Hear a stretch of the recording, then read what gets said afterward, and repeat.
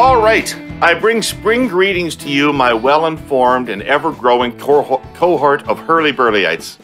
What a podcast we have for you today! A two parter, chock full of edge of your Chesterfield Canadian Poly content. We do not sit on couches or sofas here at the Herle Burly, only Chesterfields. Part one I am absolutely thrilled to welcome Michelle Rempel Garner to the show.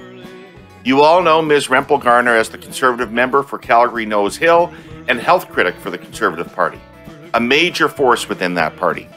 We're going to delve a little deeper into her background today, why she got involved, and what motivates her. We'll also talk about what it's like to have such a big social media presence and what she thinks the Conservative Party should be doing to win.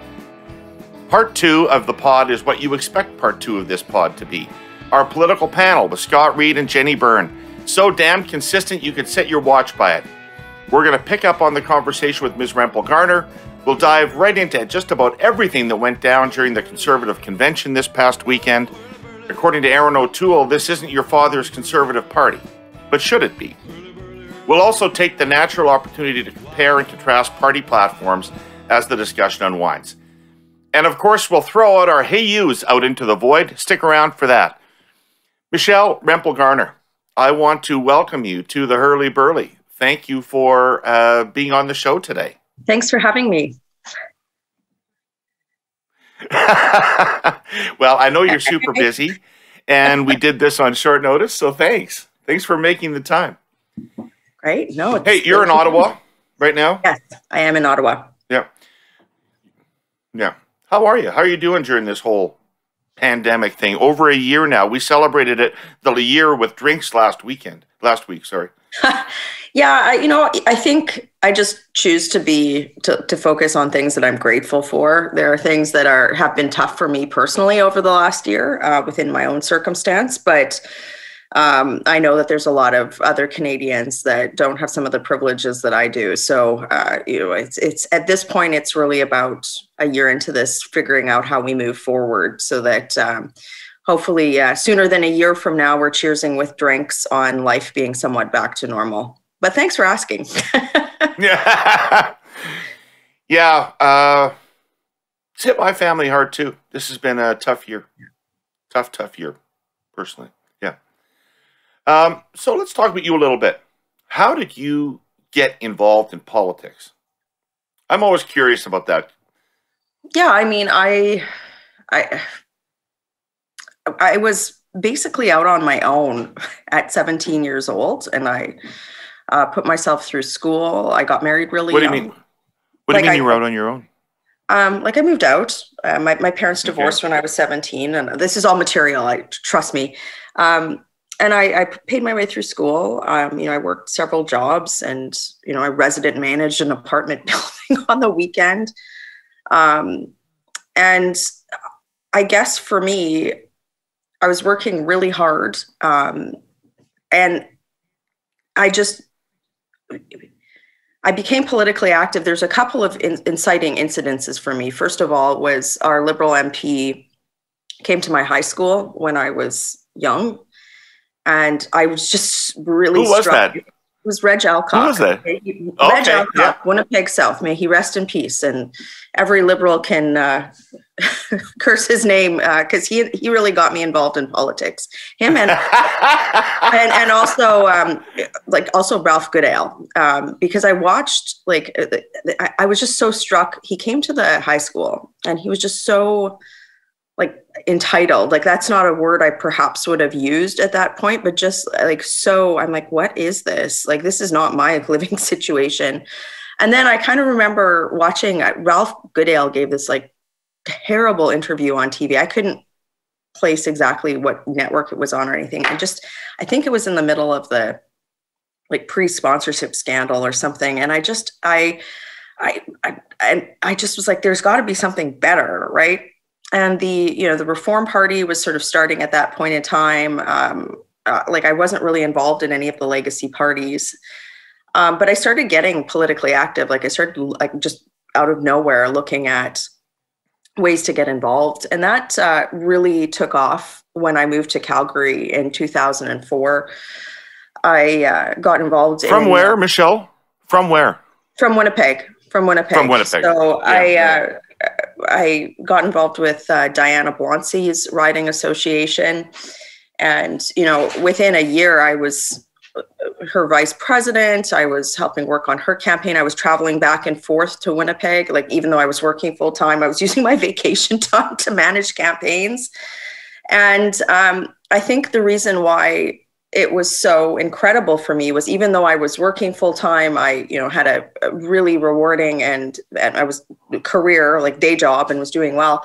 It was the ability to affect change as a young woman. It was something that gave me control over my circumstance, but also the ability to to do something impactful for the community. And I think you know that to me that's a currency for me. It's the ability to impact change for the better for for people around you. I, and i know that sounds sort of cliche but it's not for me. It's it's still my re- reason for being in politics. And um, the other thing i'll say is i was the door was wide open. I mean there was no barriers put in my way. It was get you want to work? Great. And you know by the time i was 27 i was chairing our national policy committee I was Diane's EDA president. I had run several campaigns. You know, I got to know Jenni Byrne, who's regularly on your show.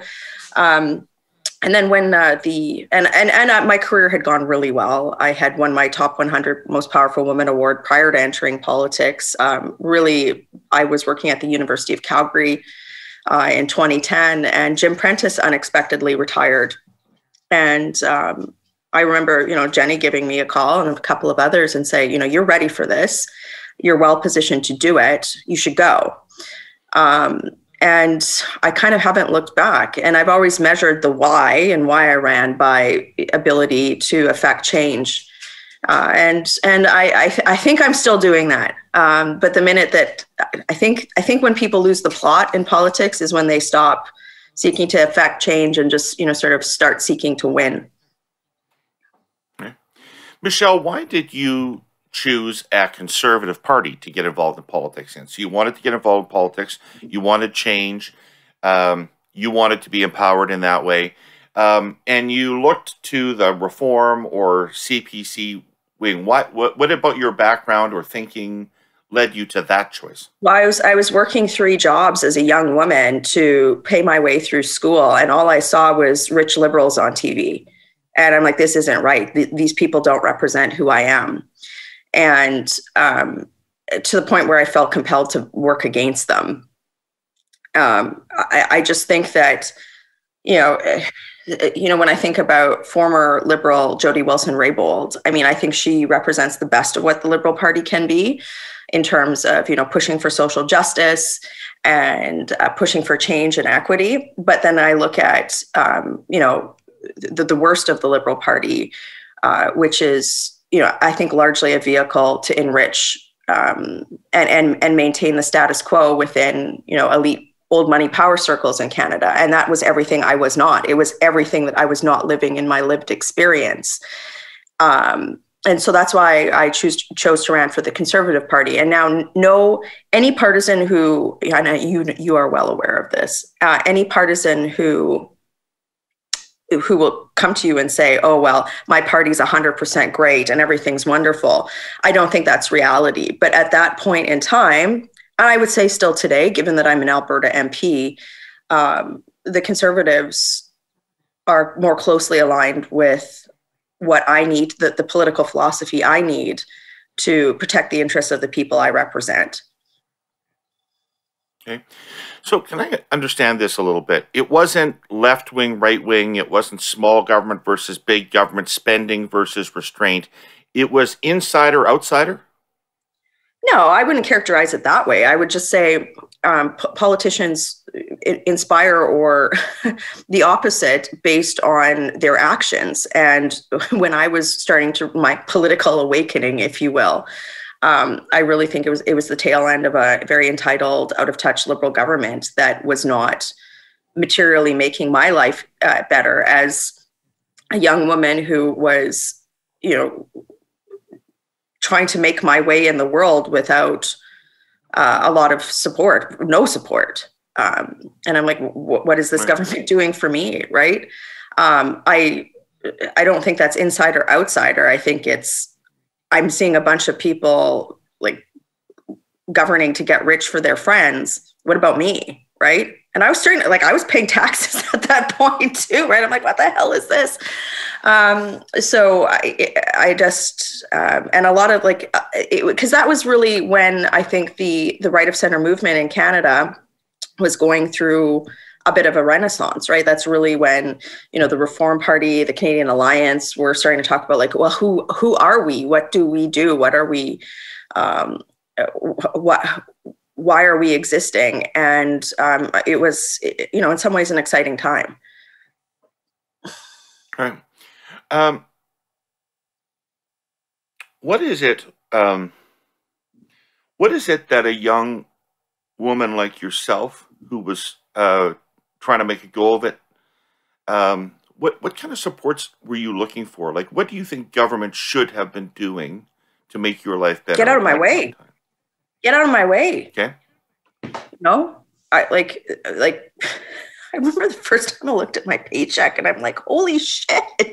Like, it's a lot of tax. Like, that's like, that's like, can I go grocery shopping this week or not? Right. And, um, I, I just uh, like to me, like, I think that there's like, I know, like, you know, it's funny. This is actually the first time I've had this conversation in this way of me as a young, like, poverty line single woman trying to put myself through school and my then husband as well like i should be i should be the the, the like like picture of a liberal voter and i wasn't um, and i think that it's it's an assumption that um, you know so like what sort of supports did you need um, like why is government intervention the or government programming always the, the answer to that solution like like in terms of outreach uh, where I needed help, it was local community organizations that I know were not being and still aren't being supported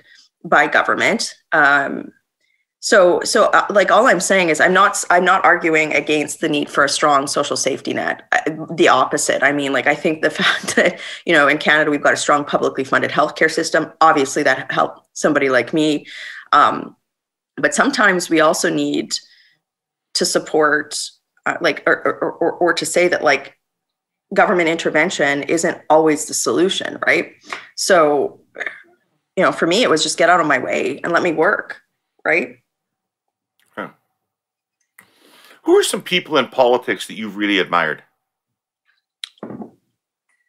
you know I, have been asked this question before and um, the people i really admired are are people who who just worked really hard behind the scenes. Um, one of the the people who was re- instrumental in my political career is is not known on the Canadian scene at all. She's one of my she's the first person that I interacted with in Calgary in the conservative organization, and her name's Arlene Carlson, and she's she's now in I think her late sixties, and she just volunteers all the time. And she's probably elected more people than you know anybody i know. My my friend lynn walker. These are women that like they are in it to affect change in the community and they sit there and they work and they door knock and they make phone calls and they you know they when i decided to run they're the ones who are yeah. phoning me and saying you can do this so those are the people i, I admire people who um, understand that in the Canadian political context, it's not just about clicks and likes or photo ops. It's about putting your hand to the plow. It doesn't matter what what party you're in. Uh, and I often think that a lot of those people don't get the credit that they deserve. Right. Um, well, no, it's true. Uh, they don't get any credit, and they're the backbone of organizations. I was talking about somebody last week who was very important in my life that way. Um, Speaking about back in Calgary. Yeah. I know that I, I know the economy in Calgary is in bad shape. Alberta seems like it's in a terrible mood right now. What's going on out in Alberta? I'm going to start by saying let's address the post convention issue. Climate change is real and we need to address it. I wish that Justin Trudeau would understand that he can't make policy happen to one region of the country, that he has to have policy happen with every region of the country. And that's why Alberta is so fucking pissed right now It's because for the last five years, every policy decision that has happened under the Trudeau Liberal government has happened to us under stereotypes and under uh, almost punitive circumstances. And, and this is a sentiment that does not have a right left boundary. It's, it's a sense that the, you know, the power structure of Canada, the, you know, the civil service, lobbyists, government, diplomatic corps, press gallery, it's concentrated in Toronto, Montreal, and Ottawa. And there are so many people within that community that, first of all, maybe have never even been to Western Canada, let alone live there or from there, that it's just, there's this sense that it's like just things just happen to us and that we're just going to sit and take it. And that is not, that's not how you knit together a federation. So when it comes to environmental policy, right? The Trudeau, the hallmark of the Trudeau Liberal government has been, well, dirty Alberta jobs. Like they just need to get over themselves and sell their trucks and uh, get on with life. Okay. Literally, like, I mean, that's what I hear in Ottawa. And that's what my constituents, they know that's what the conversation is out here. And, you know, so, so instead of having a conversation that starts like this, like, look, um, we're we're as a country going to move to X target on greenhouse gas emissions over this period of time. So, what does that mean for the energy sector? Well, um, you know, we're we're going to incent uh, carbon capture sequestration technology or other other short-term solutions so that Canadian energy can be part of a transition to a clean economy over a certain period of time. Um, here's here's what we're going to do for workforce training. Here's what we're going to do to create create macroeconomic conditions to uh, allow for um, new industries to emerge in the province. It's basically like this: "Fuck you." There's no conversation. And, right. and and Trudeau benefits from that. It's like I see it. He takes glee and pleasure in in in in in like almost sticking it to the province and people feel that. And like like at this point in time it's not like oh we just want in. That was the sentiment 30 years ago. It's blinding anger and rage that we after contributing to the country for generations are not even at the fucking table.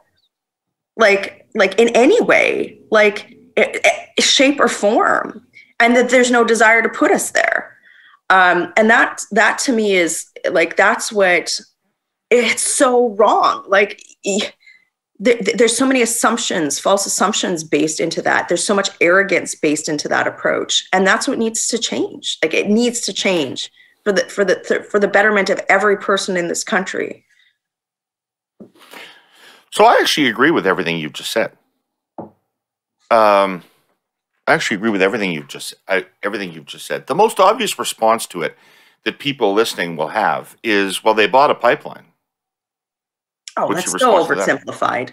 That's so oversimplified. I mean, okay, so they their environmental the Trudeau government's environmental constituency hates that pipeline. Okay, but like again, a responsible government would say okay, Canada, most of our energy is transported on rail right now. That is not safe. Okay, so we're not going to magically transition. You need to purposefully transition over time to clean energy if that's the objective. We are using carbon energy, we're using carbon products. We shouldn't be putting that on rail. We should be putting it in state of the art, uh, highly highly secure infrastructure so that we can monitor the transport of that um, number one. It's the best number argument two, for Energy East. Pardon? It's the best argument for Energy East. Absolutely. Uh, and I mean, like the other argument for Energy East is, you know, why are we why are we importing oil from Saudi? Right. Like, right. I mean, that's a conversation that honestly, like, like it, it, it, it, it, it touches on a lot of issues that nobody wants to talk about, including, you know, a certain family from out east that makes a lot of money refining Saudi oil. Um, it, it touches on. Um, like you mean political- the government of New Brunswick? You mean the effective, the effective government of New Brunswick? I'm just, I'm just saying, I like, like nobody wants to have this difficult, spicy conversation. Every and, and you know, and people across the country, like, like, it's just like there's no plan. Like if Trudeau had stood up and said, here's the plan, right? Um, I, and brought people along, um, I I would you know it's like it's okay. That's something that we can debate and work with. Uh, not that I'm agreeing to you know from his hmm. perspective of shutting down the energy sector. To be very clear, um, but I, I, think what happened, if I had to surmise, he learned from his father and was like, I'm not going to call shutting down the energy sector National Energy Program the second. I'm not going to give a political focus. His policy has been hallmarked by just not making decisions and creating a regulatory environment in which projects just die. Like they don't make decisions, right? So, like, nobody wants to invest in Canada right now. And to me, that's just so short sighted, uh, both from an energy security perspective uh, from an overall plan, um, uh, an environmental plan, uh, North American, uh, you know, integrated economic union perspective, um, sovereignty in in light of cha- the changing geopolitical situation, like dumb, dumb, dumb, terrible. Um, but it's politically expedient, and that's why he's doing it, and that's why I'm a conservative. Is I hate bullshit political expediency uh, from from from the Liberal Party honestly it just it's it's the hallmark over and over again I just have to smile when you say that because you're probably talking about me. But anyway, um, the oh no.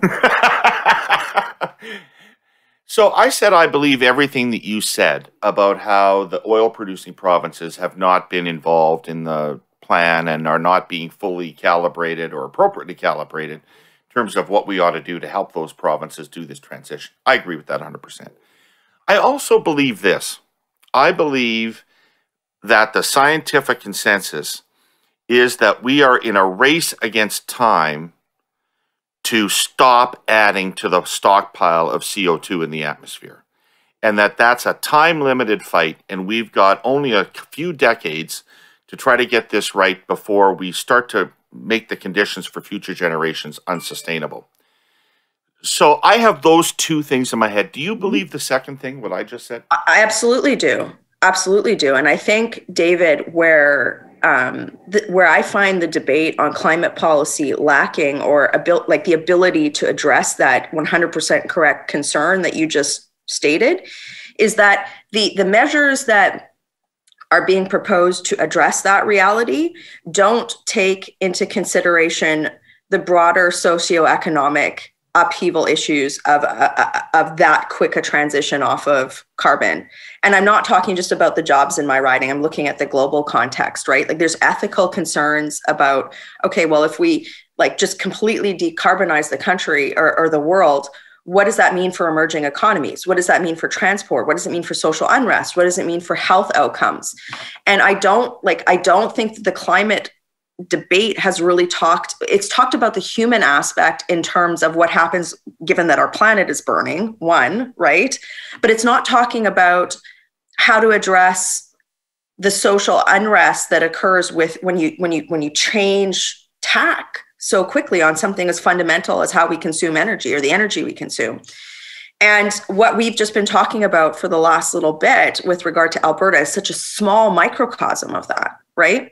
So, like a smart government would acknowledge what you just said, but also acknowledge what I just said and come up with policy that marries both.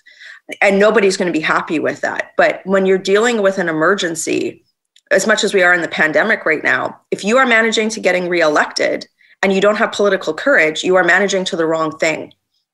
And I think, you know, it, it, I felt your urgency and like you're you're like we got to get this right on that and i agree with you. But there needs to be like like there needs to be courage on this issue um, and there needs to be equity. And um, i wish that the debate wasn't so caricaturized. I wish it wasn't so dogmatically one way or the other or that even uh, like that people weren't so adherent to rigid silos and that we were looking towards innovative solutions that addressed everything as opposed to just sort of staying in this rut political dogma. So that's what I think needs to change first. So you've probably heard a lot in the news recently about a big development in the telco space. For our presenting sponsor, TELUS, getting better is far more important than getting bigger, specifically delivering better service and the best networks for their customers. Here's what I mean. TELUS has been investing in spectrum, infrastructure, and operations for over 20 years now nearly $240 billion. In the last 12 years, an extraordinary $6 billion in spectrum alone. Spectrum are the radio waves on which all of our mobile data travels. So more and more Canadians are connected at faster and faster speeds, particularly critical for our rural and remote communities as well as Indigenous lands. Right now, though, government sets aside billions of dollars worth of subsidized spectrum, effectively giving deep discounts to well established cable companies with healthy balance sheets because they're classified as new entrants. But these companies are not held accountable to build networks in rural communities or even use the spectrum for rural broadband. So, way too much of the spectrum that can help solve the connectivity gap for rural Canadians and Indigenous peoples goes unused. While those other companies focus on merging themselves, TELUS wants to put that spectrum to use today. Unlock it and work in partnership with government to get it all done as fast as possible. The end game needs to be putting that spectrum to use, not subsidizing mergers and the billionaire families that own the companies, so that every Canadian can get better access to healthcare, education, and all the advantages of high speed internet through TELUS's world class network. Never more important than it is right now. Go to connectingcanadaforgood.ca to learn more. Um, let's talk about COVID for a few minutes. Oh, great. Well, you've been at the center of this, and you are yeah. now leading a new discussion. And you are now leading a new discussion. I read your op-ed in the in the Star and Sun, sorry, yesterday. Um, and um, so, before we get into that specific proposal, how would you characterize the government's handling of COVID overall? I think I gave you a good uh, segue from my last comment. It's in an emergency situation, you need to look at how how governing works a little different, right? And I think, you know, at the you know this at the best of times, you know, bureaucracy is slow. It's not nimble.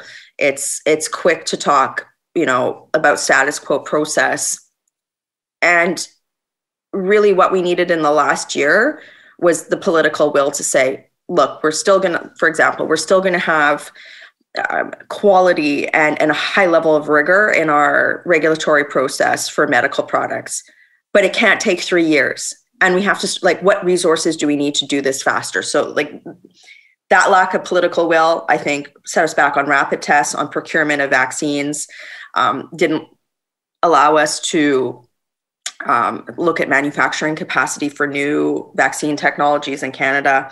I think um, I, I, also think that the, the, the, government didn't take this seriously uh, for the first three months, um, and documents that have emerged because of you know motions I've put forward suggest that like they weren't. It wasn't until the end of March that they were like, "Oh, maybe we should shut the border down," and it was you know like I, I just remember that press conference with Patty Hajdu going, "Well, you know, it actually makes things worse," and it's like, "What?" I remember them issuing mask advice, going like, well, you know, we're not sure this works. And I'm thinking, putting a covering over the holes on your body in which it comes out, like it can't can't be a bad thing. Like so, like I just like I don't, you know, to me, like just as a pundit and not as a like legislator, like to me, uh, observing it, it, it was very clear that the, the public service, and God bless the public service, but the public service is managing the cabinet in this government, not the other way around. Because in this situation, you you need to be giving political directive to change processes so that they're responding quickly to an emergency.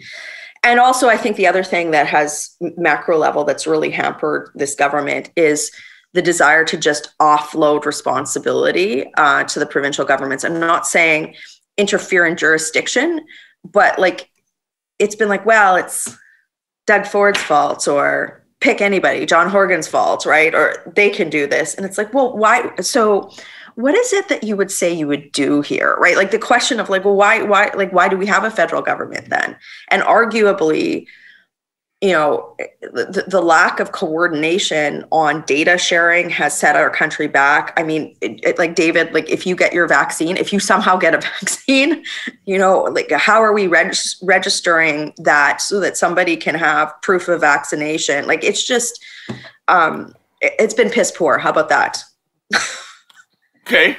You support the CERB and the wage subsidy, though, right? Those were pretty big ideas, pretty big. Well, pretty I mean, supports if, if, for the, the economy.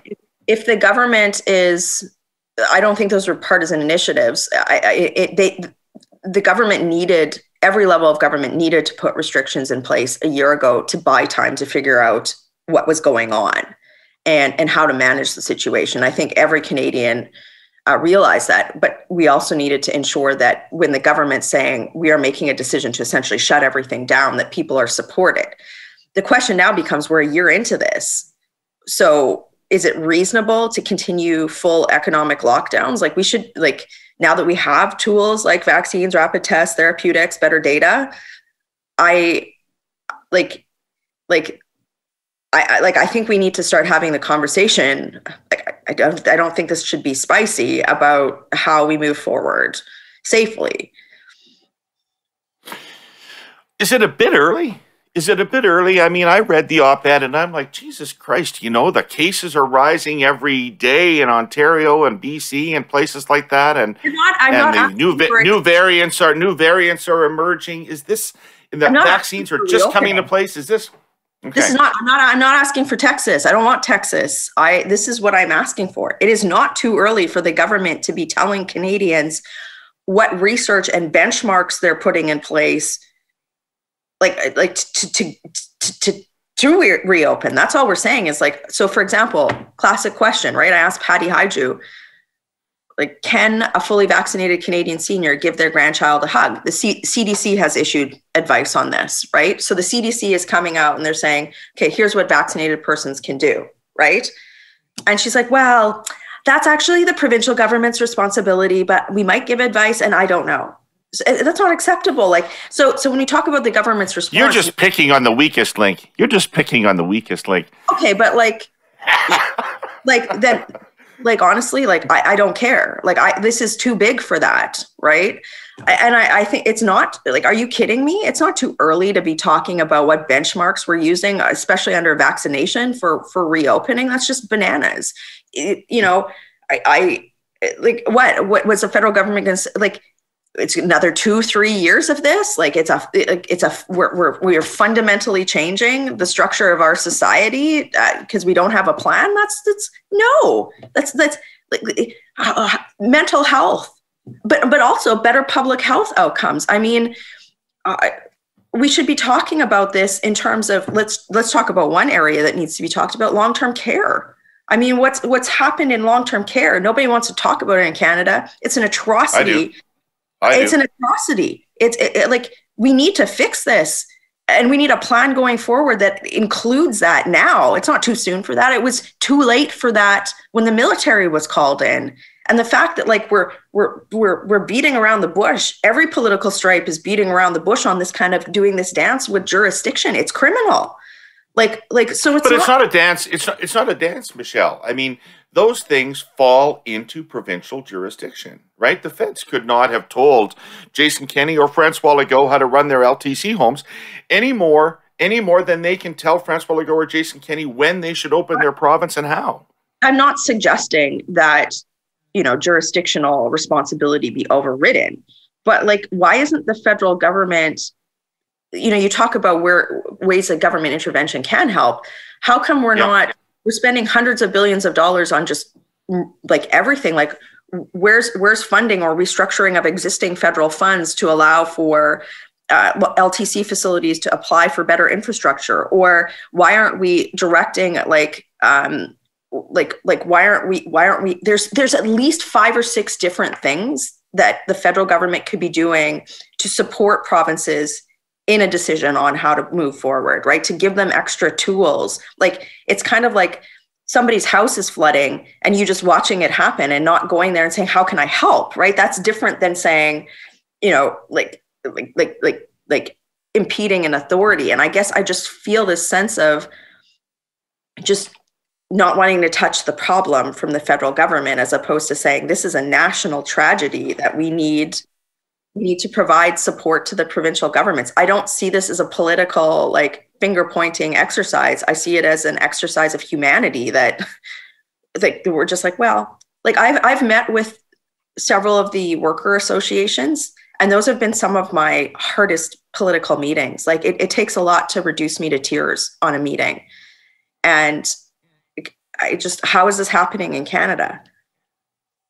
Right. Right. Um, what do you think happened in long term care? We don't like to talk about death. So I think it starts with this taboo.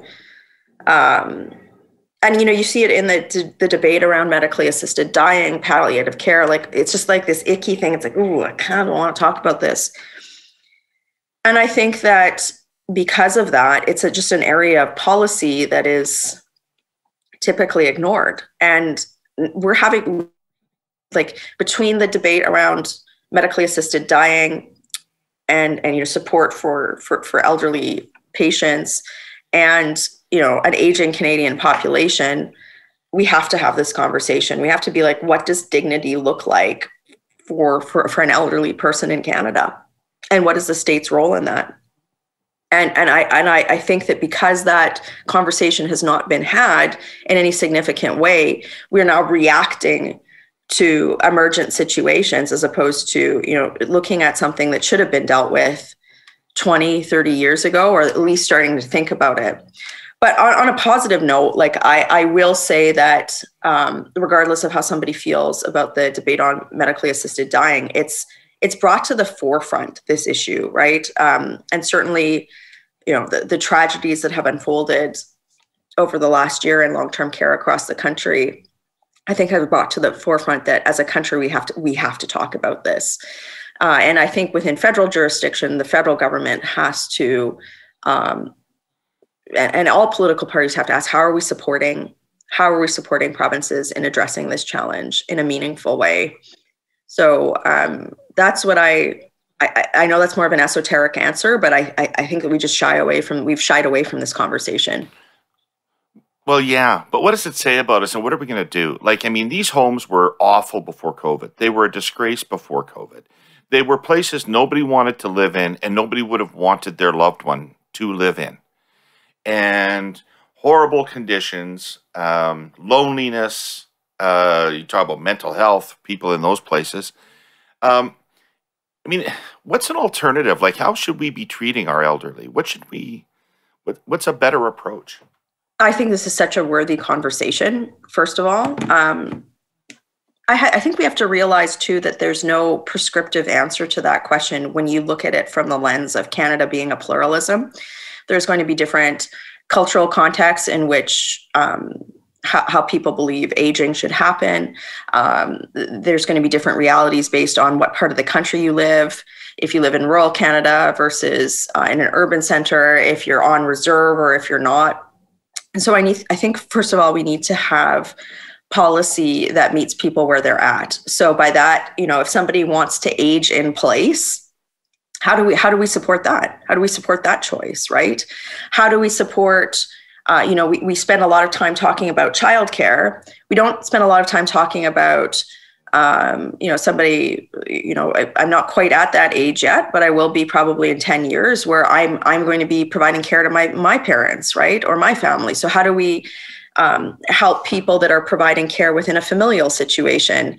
Uh, and then for those who are in long term care facilities, because that is needed, you know, I, I, do think we need a collaborative approach with the federal government and provinces to support better decision making. that framework doesn't exist right now. That's low hanging fruit. We could put that in place. Uh, and then we need input from the the service providers and yes investment absolutely absolutely 100% but i will say this what I don't want to see is just like the announcement of like, oh, we're spending a hundred billion dollars on this with no without it being tied to outcome. Um, because this is like like you know, as much as you had felt that urgency with the climate debate, this is a very urgent problem in Canada, and any any new funding has to be tied to some sort of outcome within the context of jurisdiction. So you know, I would start by putting that framework in place, I would have it driven by long term care providers, families, residents, um, provincial governments. And uh, I think that, like, if, if you lit a fire, we could have something, you know, in, in a quarter. Why not? Right. So um, I just hope that Canadians understand that this is something we have to fix we, we have to fix it now. We should have had it fixed before all this happened. But certainly, in light of what we saw in the last year, this is not something that can be ignored by any level of government. I worry it's going away, Michelle. I, I, you know, I would have thought last spring when this all started to go down that Canadians, seeing what was happening in those homes, would have reached for their torches and pitchforks. Um, and they told pollsters that they were angry, but I sense that the country's turned away from that issue again. I, I don't know. I, um, I, I, I think that you know, David, our country is kind of going through a bit of a collective trauma right now. Um, I, I, think that there's a lot of people who are like at basic survival mode um, and are dealing with this issue from the perspective of them having family in long-term care, but also trying to figure out like, okay, how do I? I don't have a job. How am I paying the mortgage next month? Or um, you know, my kids having behavioral issues because they haven't been in school for two years, or uh, like like the people I talk with in my community, it's like this it's survival mode. I've never seen anything like this. It's like so i guess what i'm trying to say is it's less about this going away as an issue but the, the need for us to like deal with you know like collective societal problems right now. And going back to your question on like don't you think we should be talking about a plan to move forward yeah no we need to do that now for that reason right Can we move off of this lofty moral territory and talk about politics? Sure. Sure. All right, let's do her. Let's do her. Why was the Conservative Party divided going into its convention? Okay. And particularly divided, wait, wait a second, particularly divided over its leadership. Because normally that happens when a defeated leadership candidate is trying to relitigate the results. And I didn't sense any hand from Peter MacKay in any of this. Um, but yet, it was clear that going into the convention, O'Toole had issues with the party. Well, I mean, he certainly had issues of, you know, a few uh, nameless, anonymous people, you know, talking in gossip columns for sure. Um, no, wait, I, I got to stop you. I got to stop you, Michelle. He had Jenni on this show with her face okay, well, attached Jenni, to it. I, you know, I'm of the Jenni Byrne School of Political Management, which is I'm aggressive aggressive. I'm not passive aggressive, and if I have something to say, I'm just going to say it. no, I, uh, I, so so if I've got a problem, I'm I, I'm not shy about putting my name to it. I as and I know that's Jenni's philosophy as well too. Um, so you know, just on that, you know, to colleagues that were were in some of those columns, it's like. But anyway, I I how do we move forward? Here's here's like just assessing some of the challenges. Um, we had a leadership during a pandemic. It was extra protracted. Um, the leader came into uh, and this is not excuses. I'm just sort of doing an environmental scan. Uh, leader came into um, caucus. We really haven't had any in-person interaction with the new leader. Roles have changed, um, and and people are at home in their ridings, right? And and and the other thing is a lot of caucuses like. I know for me, dropping out of warp, warp speed, like I was on a plane, you know, 20 hours a week prior to this, all over the country doing stuff. Like it was a big change. And i think for some of our colleagues like like like you know and, and, the leader like you're, you're figuring out how to operate in in this new context. So i think that's that's a challenge. And also how do you get media attention and known as a leader um, in this new operating environment too? I think those are all challenges that we had. Um, and i also think you know it's it, it, the difficulty of not knowing when Trudeau is going to force an election is in, in that, that context, it's like, okay, well, do we have another six months for him to get known to the Canadian public or not? I think he under, I think Erin understands that, uh, our leader. I thought he gave a really good speech at the convention. Um, um, but like now, um, what we need to do is focus on a, on our election platform um, from the perspective of like showing Canadians what a conservative government would look like. And there's nothing that unifies caucus more than saying like here, here's the direction that we're rowing to. So I was really glad to see um, some direction given uh, in in his speech, and uh, you know, now it's, you know, looking around and saying, pick up the oars and, and let's get moving. Right. One thing in the speech really interested me, and that was the open invitation to Quebec separatists and nationalists to embrace the CPC and to say, listen, we agree with you on the role of Quebec in the Federation. We agree with you on uh, no strings attached funding, and the bloc can never get you what you want. If you are somebody that does not agree with the Trudeau vision of federalism, come with us. Uh, I thought it was interesting for two reasons. One of which is it's a real Quebec strategy. So, uh, which is something I didn't see out of the party in the last election campaign. So, this is a real strategy that may bear fruit in Quebec. The second thing is I can't really think of anything that would piss off an original Reform Party supporter more than that. But like, like original Reform Party supporter, I mean, we're 30 years, and I think that original Reform Party supporters, um, you know, understand that the country grows and changes. And I, I don't like. I, I appreciate the fact that our party like is is is looking to have an electoral strategy that brings in every region of the country. Right? We have to have that. Um, as much as you know i am always going to be a large pain in the ass for my province like i am an un, unrepentant advocate for Alberta. I refuse to let our province not be part of the conversation in the context that we discussed before. So, a, a, true national government means you bring in every part of the country, understanding that there are regional differences, um, regional needs. But you stitch that together in a way that you're you're not squashing one region to the benefit of the other. And and I like we have to do that. Every political party has to show that they they have a viable plan to do that in the next election. And um, you know I, I think that's the spirit of where the outreach is coming from. Okay. You're pro-choice right? Yes. Yeah. And you support lgbtq rights? Um, that's a, putting it mildly but yes. Right. Right. So how and I mean, you I, I also like like to me, it's it's more of a question of just equality, right? Um, I want to support a woman who chooses to have a child in the same way I want to choose to support a woman who does not. Um, and I just like I, I like like the fact that we're just you're even asking me these questions kind of gets my back up, right? It's like one of these things where we like do we still have to ask those questions? Why can't we ask like how we protect those. I don't call it.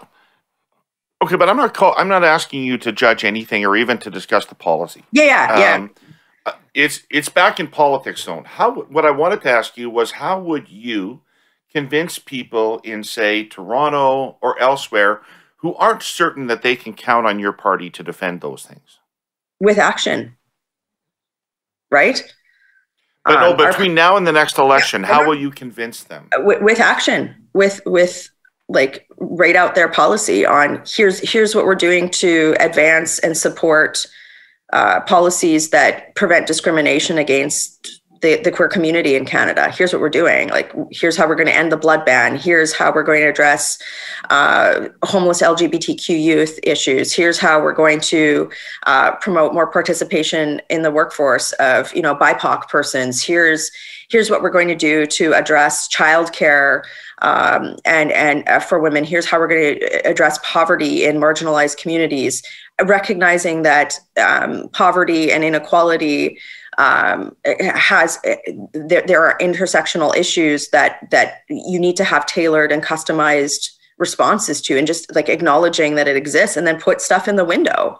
Um, you know, since we're being frank, I mean, the last campaign was really hard for me because, like, like, I we should be openly talking about this is who who our country is like like everybody cares about this. Everybody wants this. I want this. I'm a woman. I want to see myself and I, I guess what has been good is in the last year i have seen um, you know like, like it's it's gotten better uh, and and I don't think like I know that's not lost on our leadership, um, but we have to show action. We have to and I'll say this there's this huge opportunity, David, to call Trudeau out on his hypocrisy. He hasn't delivered on most of this stuff, right? He just comes out, he's like, well, I'm a feminist. It's like, you are like, you, I think Justin Trudeau is, there's a case to be made that he is actually a detriment to women's equality in Canada with, you know, how he's treated his cabinet, how he tokenizes women, uh, the unresolved groping allegations where he's not holding himself to the same standards as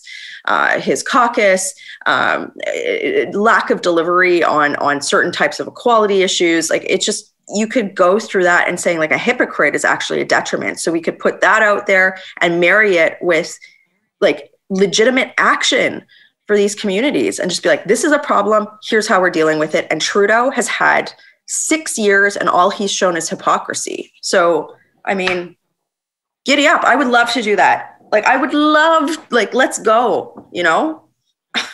Okay. Sorry. How would you feel if, no, how would you feel if the upcoming budget had a whack of money in it for a national child care program? Well, I think, okay, so first of all, we have to address childcare. I think, though, what, what, where I would provide some alternate political thought is that, and first of all, I'll state like I'm a stepmother. Um, I haven't had biological kids, but I think that like the the, the debate, like restricting childcare to debate of state-run spaces only kind of misses the boat. So as much as I just said we need flexibility in programming for like aging like like like seniors in long-term care the same has to go for childcare which is a huge it was one of the largest barriers to equality of opportunity for women. So you know how are we supporting women who decide to stay at home uh, to or, or, or run a home-based business to, to provide for childcare? You know just looking at state daycare is not going to do that.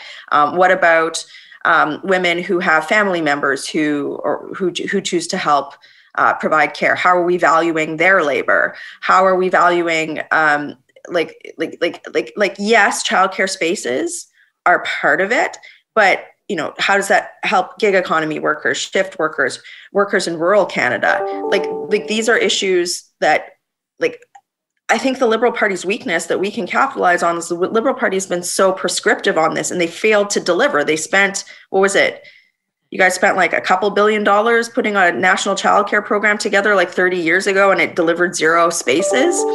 So I, I think we just need to be more creative. Investment, yes, for sure. Wait a second. Wait a second. We put together $2 billion for a national childcare program, and then you fucking defeated us, is what happened.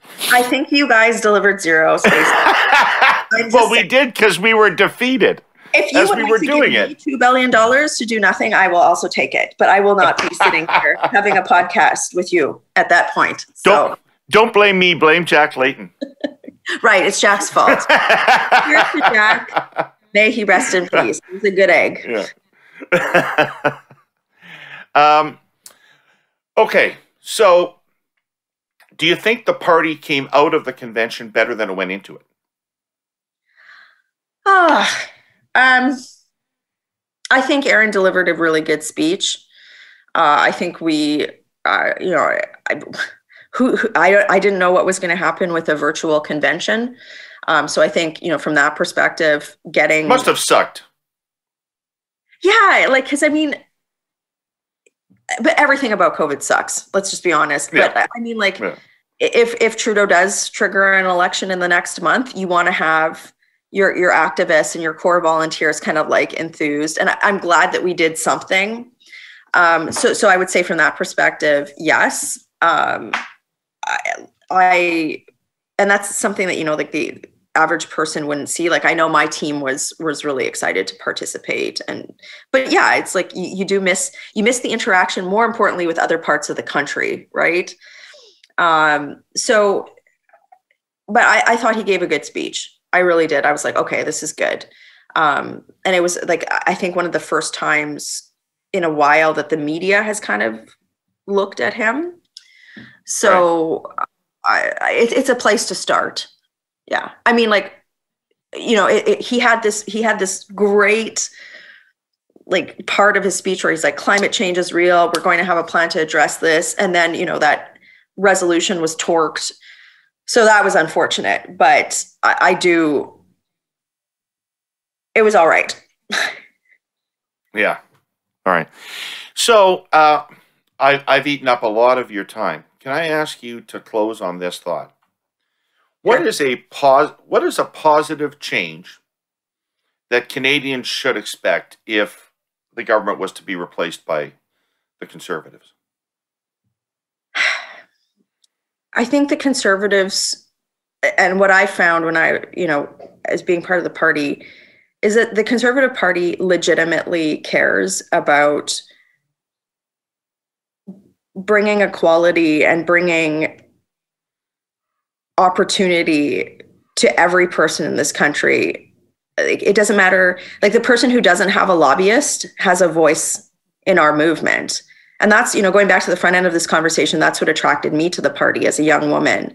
That's what I've always felt like. It's how I try to comport myself as a politician is like, for every one lobbyist meeting I'm going to take, I'm going to, you know, meet with or, or take 100 phone calls from people in the community. And um, I also think that like we are a messy, like we're messy in terms of how we develop policy. We don't have homogeny in our caucus. And, you know, when you have a, a culture in which you actually can do like like actually spar over is this this is this a good thing i think that leads to better public policy um, and and so I, I would say that for like the average person, you've got a political entity that is committed to to, to doing that. Um, so so I would just say that like at a time when our country is is is looking at how we move forward through what I would characterize as a collective trauma, uh, you know, when when we're spending money, there's going to be value attached to it um, when we are putting policy in place, it is designed to advance the interests of, again, a Canadian who doesn't have a lobbyist working for them. Uh, that's that's how I've comported myself, and and I would just say this: uh, I am strongly and firmly committed to the rights of women and to the rights of the LGBTQ community, like every marginalized Canadian. Um, and I, I, I think it's hard to argue that Trudeau Trudeau's done a lot of lip service but has he actually done a lot of messy grinding to address those issues? I would say the answer is no. And where you look at like on the farther left with the NDP, the NDP sees the answer as the state to that for everything. Whereas we would say, well, what about community organizations? You know, is there a better way? So um, I would say, you know, I, what I want to offer when I go to the door in whenever the election is to my constituents is hope um, and a fighter and a champion. And um, you know that's that's what i would say we offer and that's what well, that's what i'm working for anyway but on those issues michelle for every you there's a sam oosterhoff and so how can people know who's going to prevail inside the party? Well i mean for for every um, jody wilson-raybould there's the five guys sitting as independents in the liberal party because of various issues. Or there's a trudeau right? I just I, am not going to cede moral high ground to Justin Trudeau by by you know saying that like there's there's shitty people, and I'm not saying Sam is, but there's people who who don't come to politics with the best of intentions in every party. It's who's the strongest voice. And um, you know, arguably Trudeau has not silenced those voices in his caucus. And I'm not saying like like I'm not saying that voices need to be silenced either like just based on political philosophy. Um, I think it's like like like you're making the assumption that Sam doesn't care about his constituents, and I would say that's false. But would Sam and I differ on some social issues? Sure. Um, so I guess like I just I hate looking at politics from this like caricaturized version of how everybody should be and have certain political dogma. It's on the body of work. Are you representing your community in a just and equitable way? And that's how I would want to be managed. And I would say many of my colleagues that I work with in the party feel that way. And if they don't, well, they have to deal with me and others. So. Excellent. Thank you th- so much for taking the time and being so candid. It was great conversation. Lots of laughs and fun. I like. Thanks that. for having me. Thanks for doing it. Maybe come back. Yeah, sure. yeah. Awesome. With that, hey. got a caucus meeting, so I should hop on. So enjoy your political panel. Have fun. And thanks for having us. So, I'm going to talk for a minute here about safety. And I know just saying that might cause your attention to drift. But think about it this way it's a lot more constructive to talk about safety than to talk in hindsight about how deaths and injuries could have been prevented. At our sponsor, CN, safety is a core value. What that means is that it is simply non negotiable. CN has a rule that every single meeting or work assignment has to start with a discussion of safety, and best safety practices are the prime directive for its railroaders. You can see why. Trains are enormous and powerful, and pretty much everything else is fragile by comparison. Actually, farming is a bit like railroading. They're both outdoor activities and they both involve heavy equipment, and they have a common enemy complacency, which, ironically, is bred by experience. The remedy is vigilance and talking about safety constantly. That's why CN is such an enthusiastic financial partner in Agriculture Safety Week, which just wrapped up. Farmers and railroaders are essential, and we need them healthy and productive. Oh, and I'll repeat something I've said many times here before. For heaven's sake, be careful around railroad tracks. They aren't snowmobile trails. Obey the signs and signals, and don't even think about racing a train to get across. The train will always win. All right, panelists, we are a day late. Uh, probably a dollar short, but definitely a day late. Jenni, we're here with the man from Snowy River. Scott was unable to make it today. yeah, you're looking very hipsterish. Like you need to go and get that like a fifty dollar beard wax or something and, and start uh, using it. I'm just it's a, little, it's a little bit unruly looking. Uh, I've given up. What are you going uh, for? What are you going for?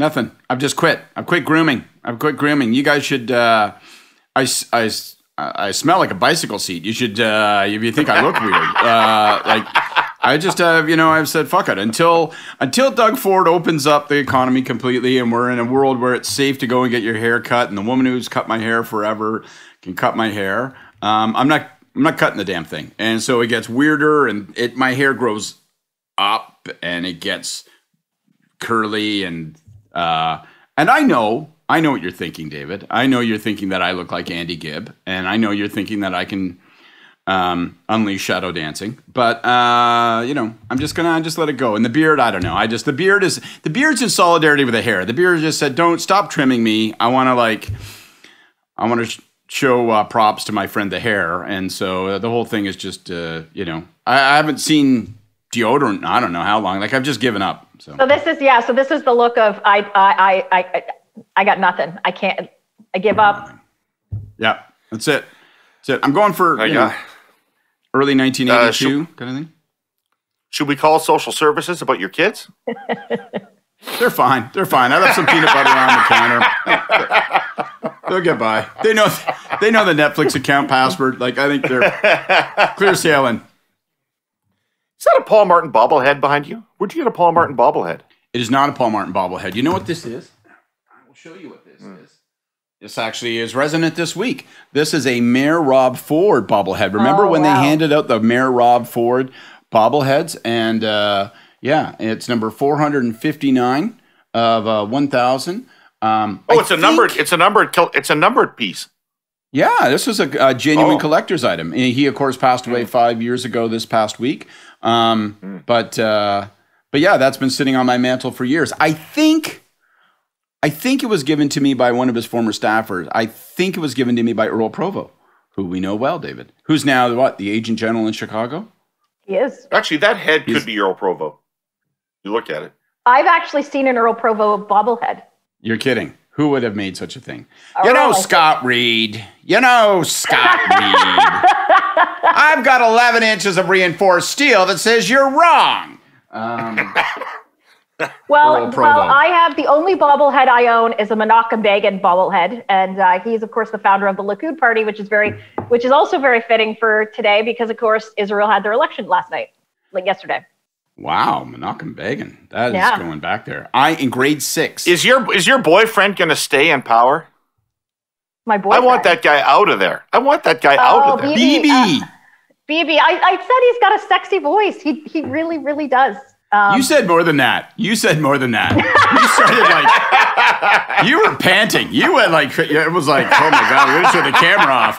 Um, no, it's well, it's, it's true. So he is based on the numbers. Uh, based on the numbers I looked at this morning when I got up, um, uh, it looks like Likud is down to 30 seats, which is down six. Um, if it, and there's still there's still 13 percent of the vote to uh, uh vote to count. So uh, Bibi's coalition is going to have to depend on, uh, of course, the ultra orthodox United Jew- Jewish Torah Party and and and others. Um, it's going to have to continue to um, uh, depend on that. But but he has uh, he has gone down in uh, in seats as of as of as I said the last time I looked this morning. So it'll be interesting to see. It'll be it'll be weeks of attempted coalition coalition making, and of course the center the center left and the Labor and Yisrael Beiteinu and and um, those parties can can take a kick at the can as well. So it'll be interesting. He's down in seats, but he's he's he's up quite a bit in uh, pending criminal charges, though. So that's uh, that helps, doesn't it? I mean, how is this guy not in jail? Hasn't he been under arrest since like 2000? Like it's unbelievable. okay, so folks, we got a lot to talk about. We could be talking about the Ontario budget that's today. Woo! Today's Ontario budget. Anybody got an the, insight uh, about? What's the name of the Ontario treasurer again, Jenni? Peter. Peter Bethlenfalvy. But not Bethan. Bethan Falvey. Beth Bethan Bethan Falvey. For people who are wondering, we did this for 20 minutes prior to the podcast starting. I've been yes, butchering his I name, apologize. and now Jenni, who knows and is friends with him, I've got her to the point where she can't pronounce his name. now she I, can't remember his name. Bethan Falvey, and I, I apologize to Peter because Scott has now fucked up the fact that I'm ever going to say your name, but on top of being a great uh, finance minister, he is also a very good diehard Habs fan. He was born and raised in Montreal. Well, see now, everybody has at least. Well, this is a great week quality. for the Habs. This is a great week for the Habs. They're not playing. I'm a little worried. I'm not sure they're ever going to play again. Like, what's going on? They shut down the practice facility and they're not talking. Those are bad signs. It's like they just said, you know what? We took a good hard look at stuff and we said, uh, "Fuck this." it's not working. We, yeah, we, we, we've gone to the owner's house and we're just drinking beer. We could be talking about the fact that there's now a date for a federal budget. I know Jenni won't believe this, but there apparently is actually going to be a federal budget. Woo-hoo. And uh, I know, I know. Um, but we just went through a big political convention. So let's talk about that and what well, its implications is, are. I think big, big is big is kind of a weird word to describe it. It was a virtual um, big convention, I guess. Can I ask a question, Jenni? Okay, Jenni. question. Sorry, I'm just gotta... uh, Before we even start, I want to ask a basic question, and I don't. You may it's have you. Bethan Falvey. Bethan. Okay. right. Absolutely. Abercrombie. Um, Dilly Bar. Um, okay. Um, did they have to have the convention? Like, I guess I, I, I know that there's a prospect of an election in the spring or the fall or at any point, but did they? And this isn't even about the substance of the convention and what went down, which we're going to get to, but just the challenges of having a policy convention, a national convention online. Like, was it a, did they have the option of saying, you know what, guys, this works best when we can all gather someplace, when we can meet on the plenary floor, when we can drink in the hallways of the hospitality suites. And so we're going to kick this thing and wait, and we're going to schedule it for, you know, December uh, or next uh, February or something like that because we want to have it in person. Did they have that option or was it just not practically available to them? Yeah, no, I think they, they, they definitely had that option. Um, I think that probably Erin's team wanted to. Uh, uh, Erin's team wanted to uh, to kind of get the convention out of the way, which I, I'm sympathetic. Like I'm sympathetic to it. The liberals are having their convention in in two weeks. We can be talking about that in a couple weeks. So um, I, I, think they could have put it off, but I think that you know if you're if if if you're sitting and looking at where the world is, like who would have who would have thought if we were having the convention about or a conversation last March about the conservative policy convention uh, a year a year from now, uh, I we would have even conceived that it still would have been virtual. So I think that. Um, uh, it, it, I don't think it was necessarily a. Uh, I don't think it was necessarily a terrible idea for for them to uh, to kind of get it out of the way. What was it like, Jenni? Like, I mean, I when I go to a convention, when I go to a Liberal Party convention, I do not attend the constitutional sessions. I do not attend the policy sessions. I go and I hang around the convention facility, meeting people that I haven't seen since the last convention or for a long time, renewing acquaintances, catching up on things, talking about politics. But all of that was gone from this convention, and all you had was the shit of the convention. Can I well, just say, I, Jenni, for one, just a little fact check? None of that is true. Um, David, when he goes to a convention, hangs out with the same six people that he hangs out with at every part of his life. and he talks like he's wandering the halls, greeting people like an Amway salesman. He is stuck in the bar with the same five people he's known since 1987, drinking and making certain that everyone who passes by and looks at him, sort of hopefully like maybe I can catch his eye, is ignored and rejected. So none of that is true. I just wanted to. Well, um, I remember. Okay. Well, you can't I, do that at the convention either. No, well, I remember when I first joined politics, I was told uh, if you want to go to a PC convention, you go to a PC convention to get drunk, a liberal convention to get laid, and a reform convention to do policy and constitutional stuff. And uh, so, uh, yeah, it. it well, um, then I am a conser- Then I am a conservative in liberal clothing. I'll tell you that. um, That's right. I, yes, I, I. Let me tell you, I fall asleep drunk and alone. so I guess I'm a conservative.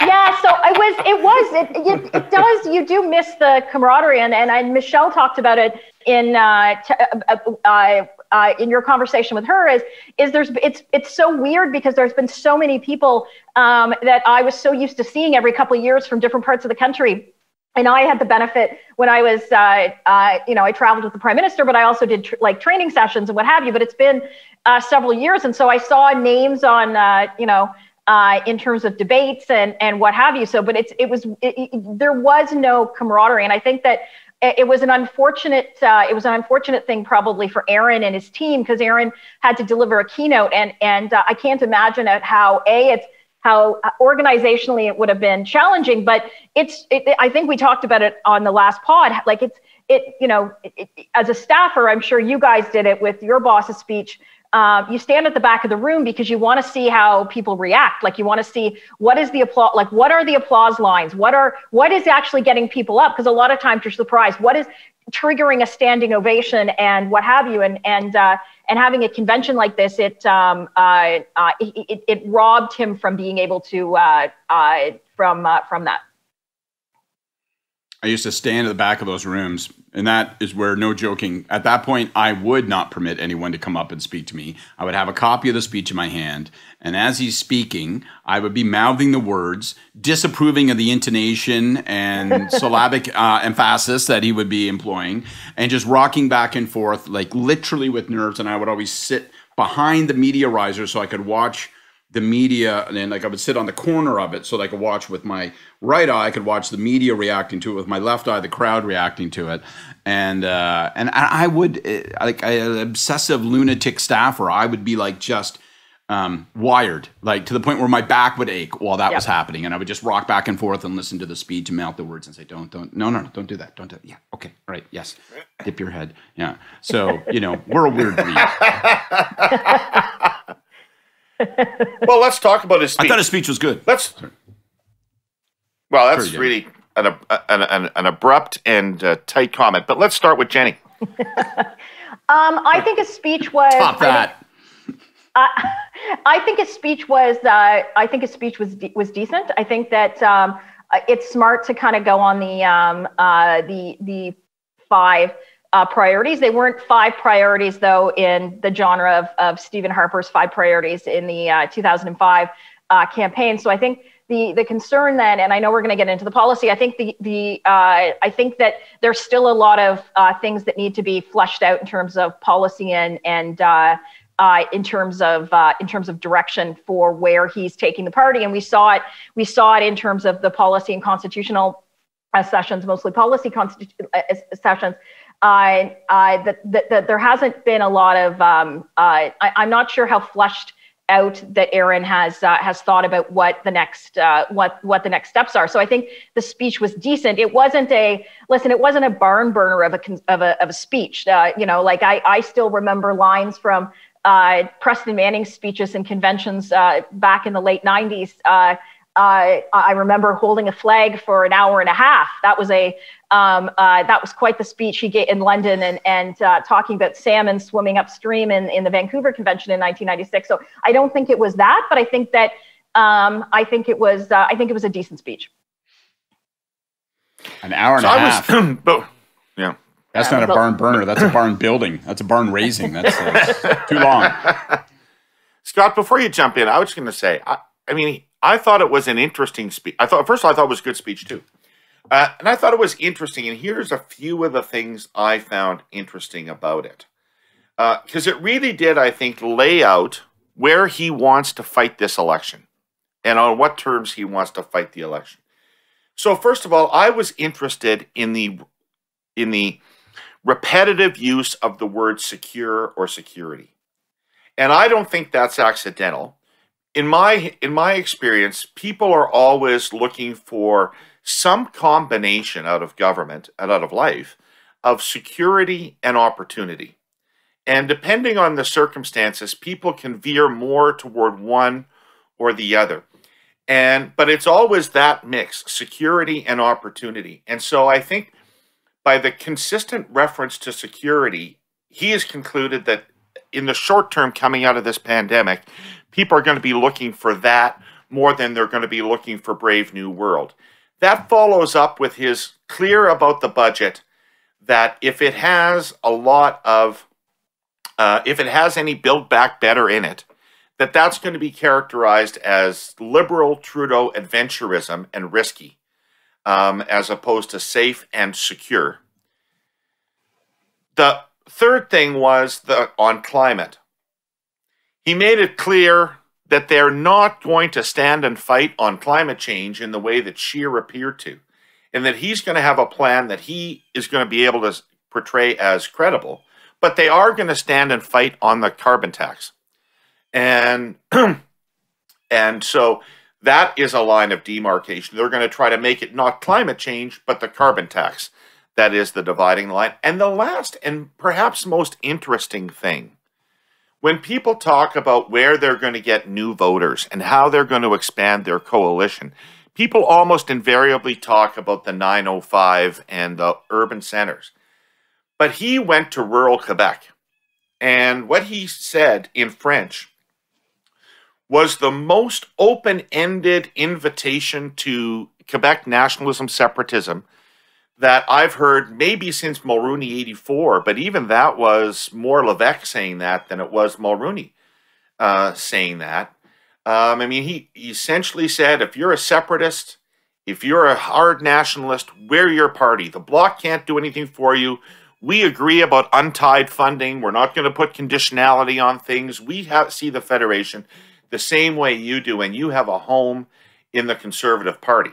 Now, that is um, that's an avenue. That's a that's a possible Quebec strategy. So whether they turn out any of them or not, I saw strategy throughout the speech, and I thought it was strategy that made sense to me. When we think of Canada and space missions, what's the first thing that comes to mind? For a lot of you, I'm betting it's the Canadarm. Remember the photos? The red maple leaf against that vast sea of blackness? Well, there's a hell of a lot more to the story.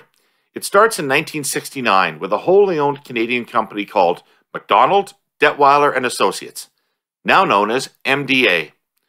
Theirs is a 51 year history as an international space mission partner and a robotics, satellite systems, and geointelligence pioneer. Like any leader, it's a story of firsts.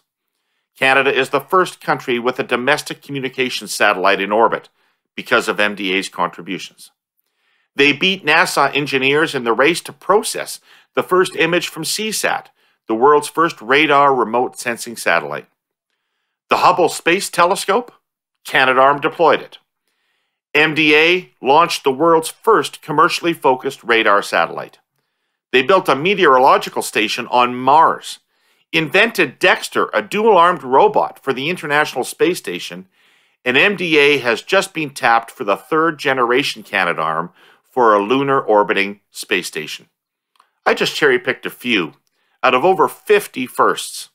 Now they're leading the charge toward viable moon colonies, enhanced Earth observation, and communication in a hyper connected world. MDA isn't just Canada's largest space technology developer and manufacturer, they grow our economy and they advocate for an entire industry.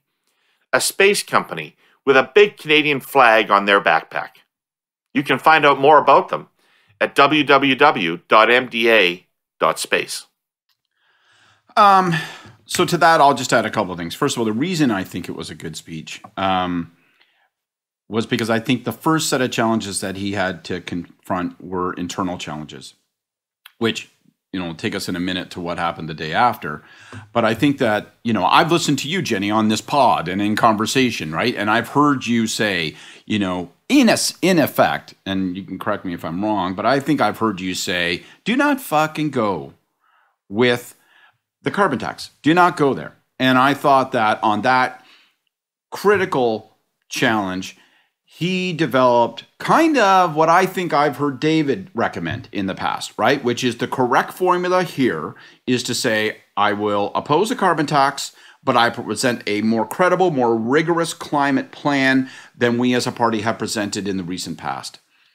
And um, and I think uh, I think that was smart politically. I thought that probably struck the appropriate balance at minimum to manage internal party intramural um, challenges, but I think it might be a good uh, positioning for the um, uh, for the broad electorate, at least a possible one.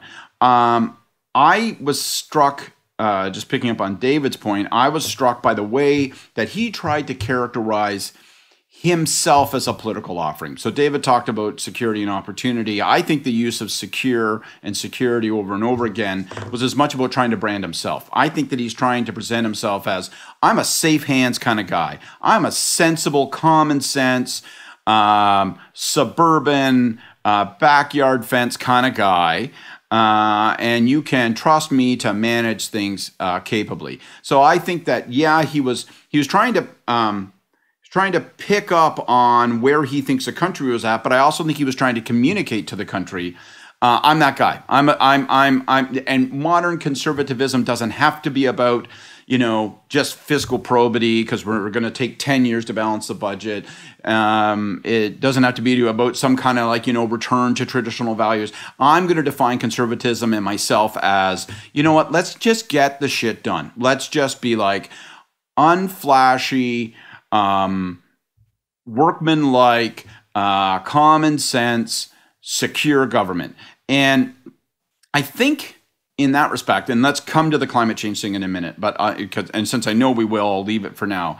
Um, but on that issue, I I the jury's out. I thought that he was all. I thought it was all skillful. So I thought it was coherent and skillful.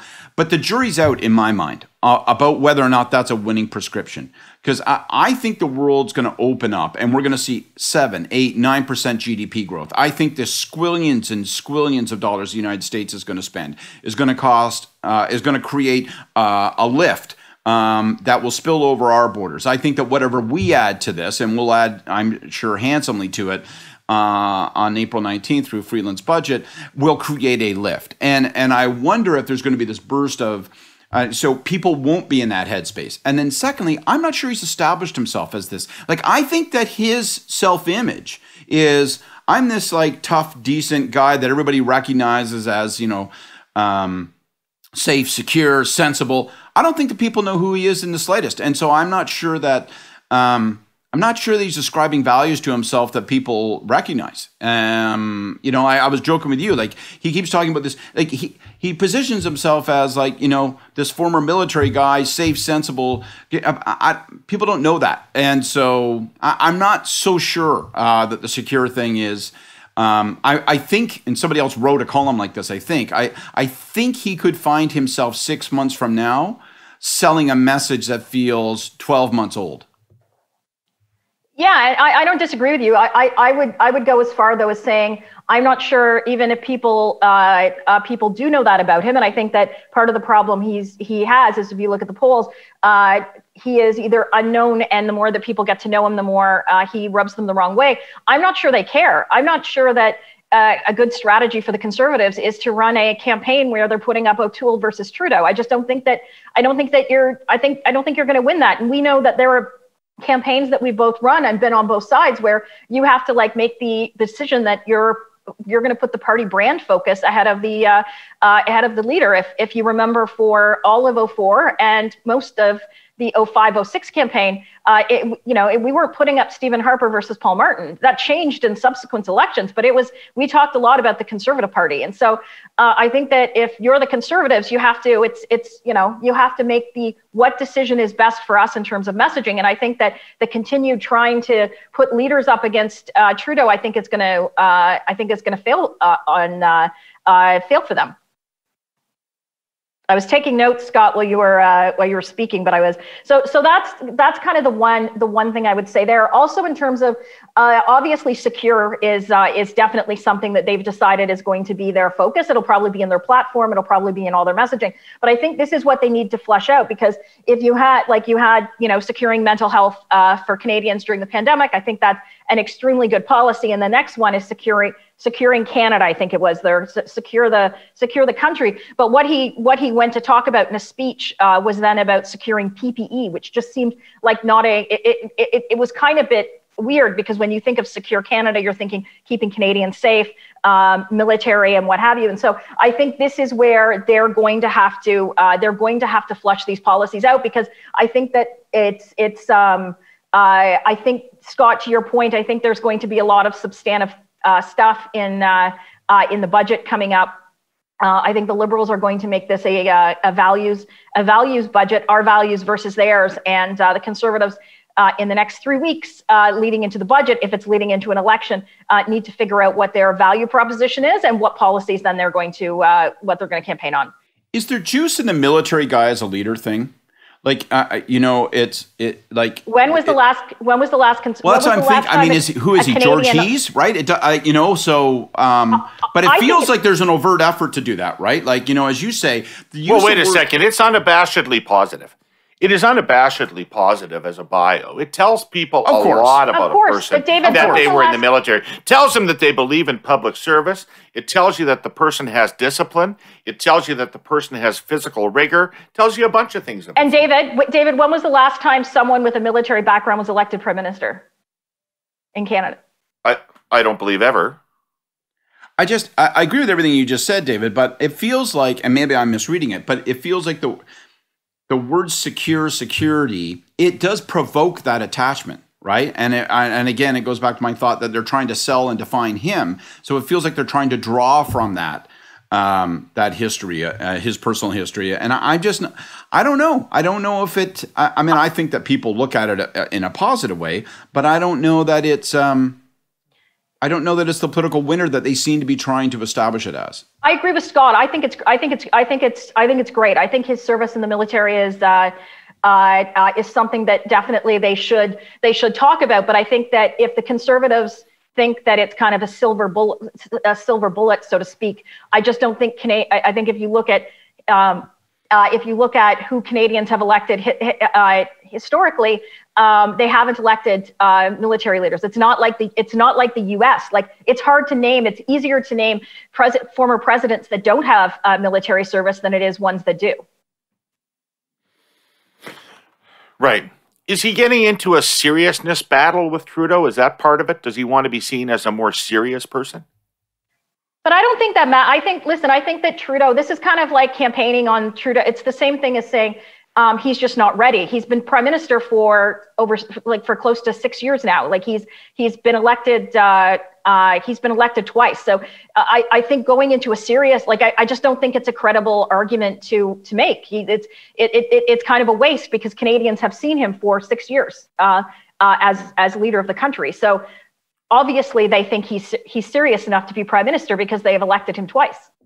The the right the line between serious and sullen is you know, can be dangerously thin. And I think when it comes to political branding and leadership branding, um, you got to be very careful about that. I think that the you know the Conservative Party, you know, runs a real risk already of looking like it's too dour, that it looks like it's. Uh, um, you know, a kind of a national scold, and and and it, it seems like they lose their perspective around the Trudeau thing. So I think you know, I like, I think it's smart to say, you know what, if they start social engineering and throwing billions and billions of dollars on, you know, sort of small L liberal projects, and that's a mistake. But positioning um, positioning O'Toole himself, positioning the party writ large as we're going to be the serious adults in the room. I think that's a real risk. I think that's where they I think that reveals myopia. I think it's like, oh, people must still fundamentally agree with us that Trudeau is not a serious dude, that he's not to be taken seriously, and they're just waiting for the proper adult to show up and to take control of things. And that's that's that's a fundamental misdiagnosis. People are, you know there's lots to criticize about Trudeau, but I think people have made it clear with their votes um, that they're entirely comfortable with the guy, and and they don't start from that point of departure.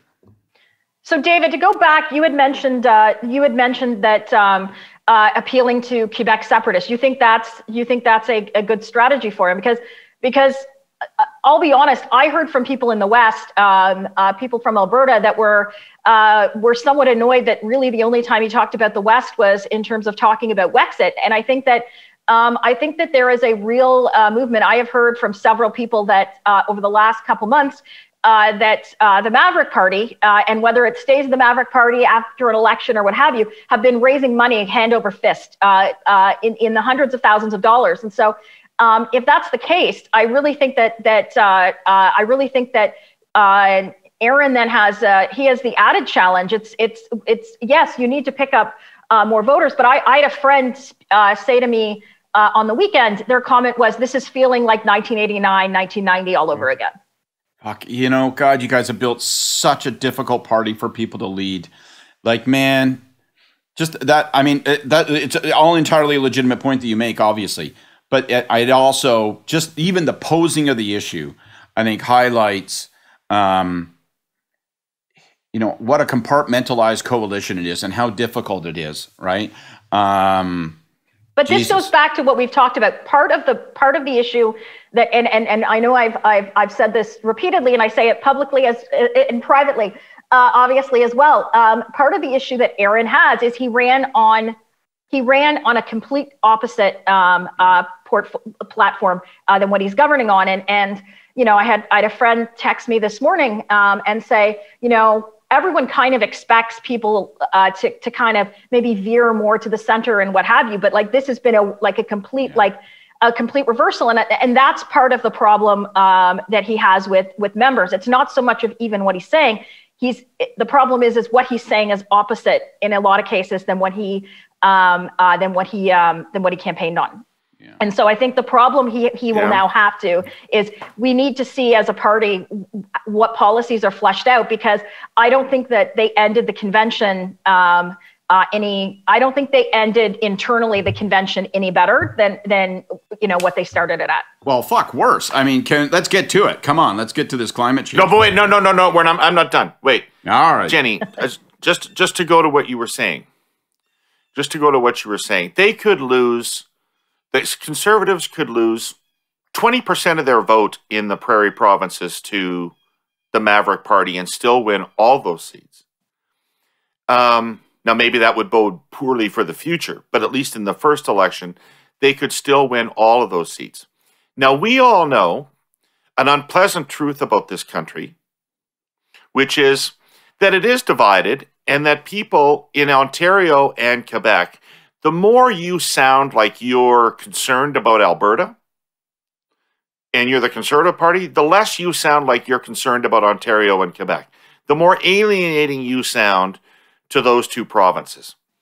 And if I was running the Conservative campaign, wouldn't I just have to assume that I've got those prairie seats in the bank and not spend an iota of capital trying to reinforce them and focus every tool I have on winning more seats in Ontario and Quebec.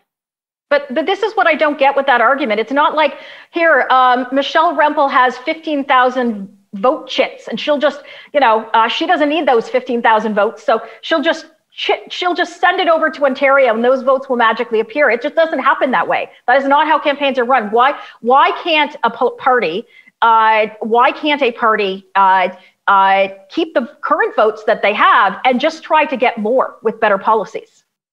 Like this argument that you have to like, you know, fuck some voters over uh, to to win it to win another uh, to another province. I've never subscribed to, and and I think that over you know the nine and a half, tw- ten years that Stephen Harper was prime minister, I think we proved that that's not the case. You don't have to fuck Alberta to win seats in Ontario. You don't have to fuck Alberta for sure. You don't, but you don't but you you need to talk in a way that makes it sound in Ontario and Quebec like you're not the Alberta party. So that's fucking Alberta.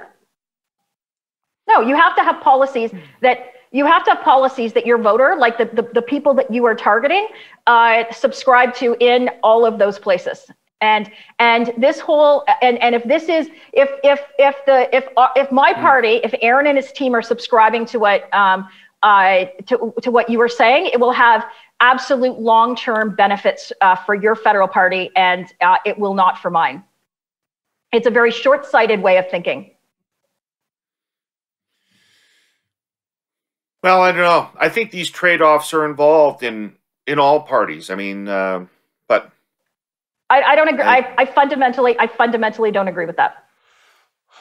Well, but the, a rub comes at some point. A rub comes on policy choices, as you say. I mean, you call it better policies. Well, that's a that's a phrase. Um, you know, the rub comes when you get down to how much is your policy with respect to energy going to be about um, trying to um, maintain and extend the life of the oil patch versus transit um, to a cleaner energy future and you know that that that's where it gets really awkward that stuff you know? And so um, if it's the former uh, then you know you're going to get premier legault right up your ass during a federal election campaign. Because um, you're talking about stuff like pipelines and you're talking about um, you know other extractive policies. And if you're talking and if you talk too quickly about transition then you know quite legitimately all those people in the oil field are going to start saying in the oil patch and not just in alberta but in saskatchewan and even in newfoundland and other places in bc are going to say so you guys are just whistling past our fucking grave? Is that what you're doing? You're walking over our grave and you're saying that we're already dead and now it's just a question of how much to buy the tombstone? So you know it's when you get past the better policy label and into the what is the policy um, it becomes tough work and tough choices are involved well, and this will be it's t- tomorrow. We'll not we'll, just tough be- things you things you don't like. Like I mean, just from a liberal party perspective, right? In terms of doing things to get electoral advantage, I mean the intellectual pretzels that the Liberal Party has contorted itself into over Quebec over the years in order to accommodate its yes. electoral prospects in Quebec. Liberals regularly accept things in Quebec that they wouldn't accept anywhere else, regularly declined to participate in debates, particularly over over uh, rights issues yep. in Quebec that they would participate in anywhere else. And we just all have to fucking swallow that because we need those 40 seats. Just completely duck debates about rights infringements that we would not tolerate in any other part of the country if it was being covered by the Toronto Star. Absolutely happens all the time. Those are the compromises of um, of aspiring for that to be in your national coalition. Which is why I thought that the separatist appeal, I understand that lots of people have said for the last 60 years that conservative parties of one ilk or another, either Harper's or the PC party that preceded it, that's the pond in which they should fish for Quebec votes. Um, but, you know, show me. Like, I mean, what? the only place they've ever found him, Scott. That's where Diefenbaker found him. That's where Mulroney found him. That's where Harper when, found him. When we won our majority, Scott, we had five seats in Quebec. That's what I'm saying, right? Like I think you got up to what 10, 12 maybe, you know, uh, those blue seats. Um, y- you know, um, I guess my, my there was question a book, is there was a I'm, book called French Kiss about Harper in Quebec. That's right. That's right. Yeah. Um, I just wonder if if if if O'Toole. I mean, the other part of what you're saying, David, in those trade-offs, you also have to, you know, the x-axis is where have I got votes and where do I need them? The y axis is how likely is that? Because that tells you the likelihood of it, tells you how bold you can be and how much you can afford to take certain things for granted. So if you want to do an overt appeal to those votes in uh, in rural Quebec um, at the expense of alienating um, existing voters, you better feel pretty confident that you have a real shot at getting them. Because if you spend all that energy and alienate those other votes, but don't get the ones you're looking for, you end up in the worst of both worlds, not the best. Yeah, but you know, Scott, and and I mean the conservatives. If you're O'Toole, you have to throw the ball down the field. You cannot run off tackle from where you are and get to uh, and get to a, a victory. You're going to have to throw the ball. But that's but I, I fail to I, I where I disagree is uh, voters have different priorities in in uh, uh, in different regions. Harper did some very symbolic things that um, uh, didn't affect uh, voters in other regions. Quebec is a nation. One of the first things he did during the uh, 2000 yep. Uh, in, in 2006. We also campaigned hard on scrapping the gun registry in rural Quebec and had a full French campaign on scrapping the scrapping the registry and then scrap the registry. So the voters in rural Quebec felt the exact same as rural voters in rural Ontario, as, as Saskatchewan, Alberta, uh, in British Columbia. So I think those are issues that that as a conservative, this is this is where they have to uh, where they have to go. They have to come up with a platform uh, and, a, and policies that are palatable to voters across the country, both conservative voters and swing voters. And I think that what they need to do is come up with a plan, but you don't have to do it by repudiating everything uh, from the past, because the past, uh, the modern conservative par- party in the past has been very. Um, uh, has been obviously very uh, successful, and I know that Scott, you've been wanting to get to the to the vote. So the vote on uh, the vote on Wait, Saturday. Can, can, before you do that, can I just ask you a question? honest, honest because you just said something really significant. Do you think that O'Toole was repudiating the party of the past? Like, I think that's a pretty strong allegation, and um, I, and I, I, I don't think, know. Maybe I, think, like I'm not I'm not as big as fan, but I didn't really I didn't hear that. Like, I think there's that, a lot of there's I think there's a lot of people that uh, um, are un. I, am not going to say uncomfortable. Uh, that don't like the kind of uh, the thought that well, this is my fa- this is my you know this isn't your father's conservative party. Well, um, because uh, because that seems to a lot of people that that's kind of a dig at at Harper, and uh, uh, and and you know, I I I don't like that terminology as well. Uh, uh, as terminology as well. Uh, either Harper was, as I said, prime minister in the last 20 years. He he was the longest serving prime minister we've had in that 20 years, uh, close to uh, a full uh, a full decade. And so I think that. Um, I don't. I, I, don't think that you can can. Uh, uh, I, I, think. I think the language. Uh, the language uh, is uh, is wrong on that. In terms of the in terms of the vote, um, here are two things, and I look at this as a as an organizer. Obviously, Erin wanted to talk about uh, climate change, and there's a significant part in our party's policy book on climate change and fighting climate change, and you know uh, going after big emitters like the US and China and what have you. So it's one of two things happened uh, with this is, and either if, if this was such a significant policy for, uh, for, for Erin, I'm not sure why his organizers weren't um, calling people or saying this this motion is very important yeah. to the to to the leader. Uh, we would really you might not like it, uh, and it might be word, worded wrongly because it was it was kind of a, a, a, it was very it was kind of ch- a chunky chunky worded uh, policy um, uh, declaration uh, policy resolution. So so I'm not sure why his organizers weren't calling around to kind of uh, rally the troops. Um, and then if they were calling around to rally the troops, then that's almost even worse because it was kind of a uh, giant, well, go fuck yourself. Um, so I'm not sure what it was. Uh, I think maybe perhaps they were so focused on other resolutions that this one kind of slipped by and they didn't even, uh, uh they didn't probably even come on was happening. Come on. Well, I had that How same could question. that be the case? I had that same How question. could that be the case? Well, because How did the it whole even debate come to a vote. Well, why was they managed to keep the abortion motion off the floor? Why didn't they keep this off the floor? Well, because that's what I'm saying, David. That's what I, I wondered.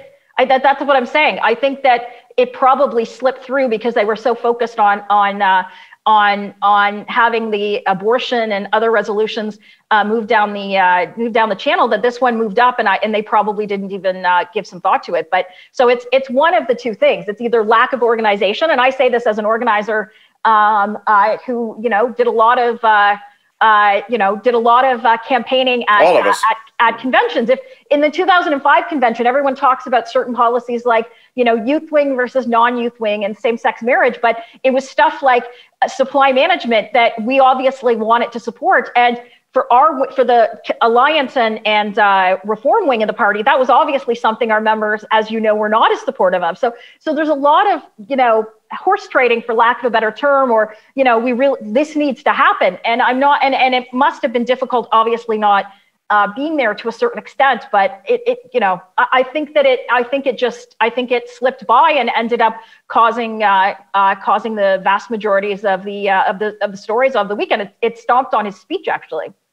I, totally. It was a, it, totally. it was now, a, to what extent was the vote? To what extent was the vote against it? Eh, fuck you to O'Toole. In the sense that was it people who, uh, like all those delegates that Sloan and his folks had elected, who weren't allowed to vote on abortion and got shut out of various things. Were they looking for the first opportunity to whack O'Toole?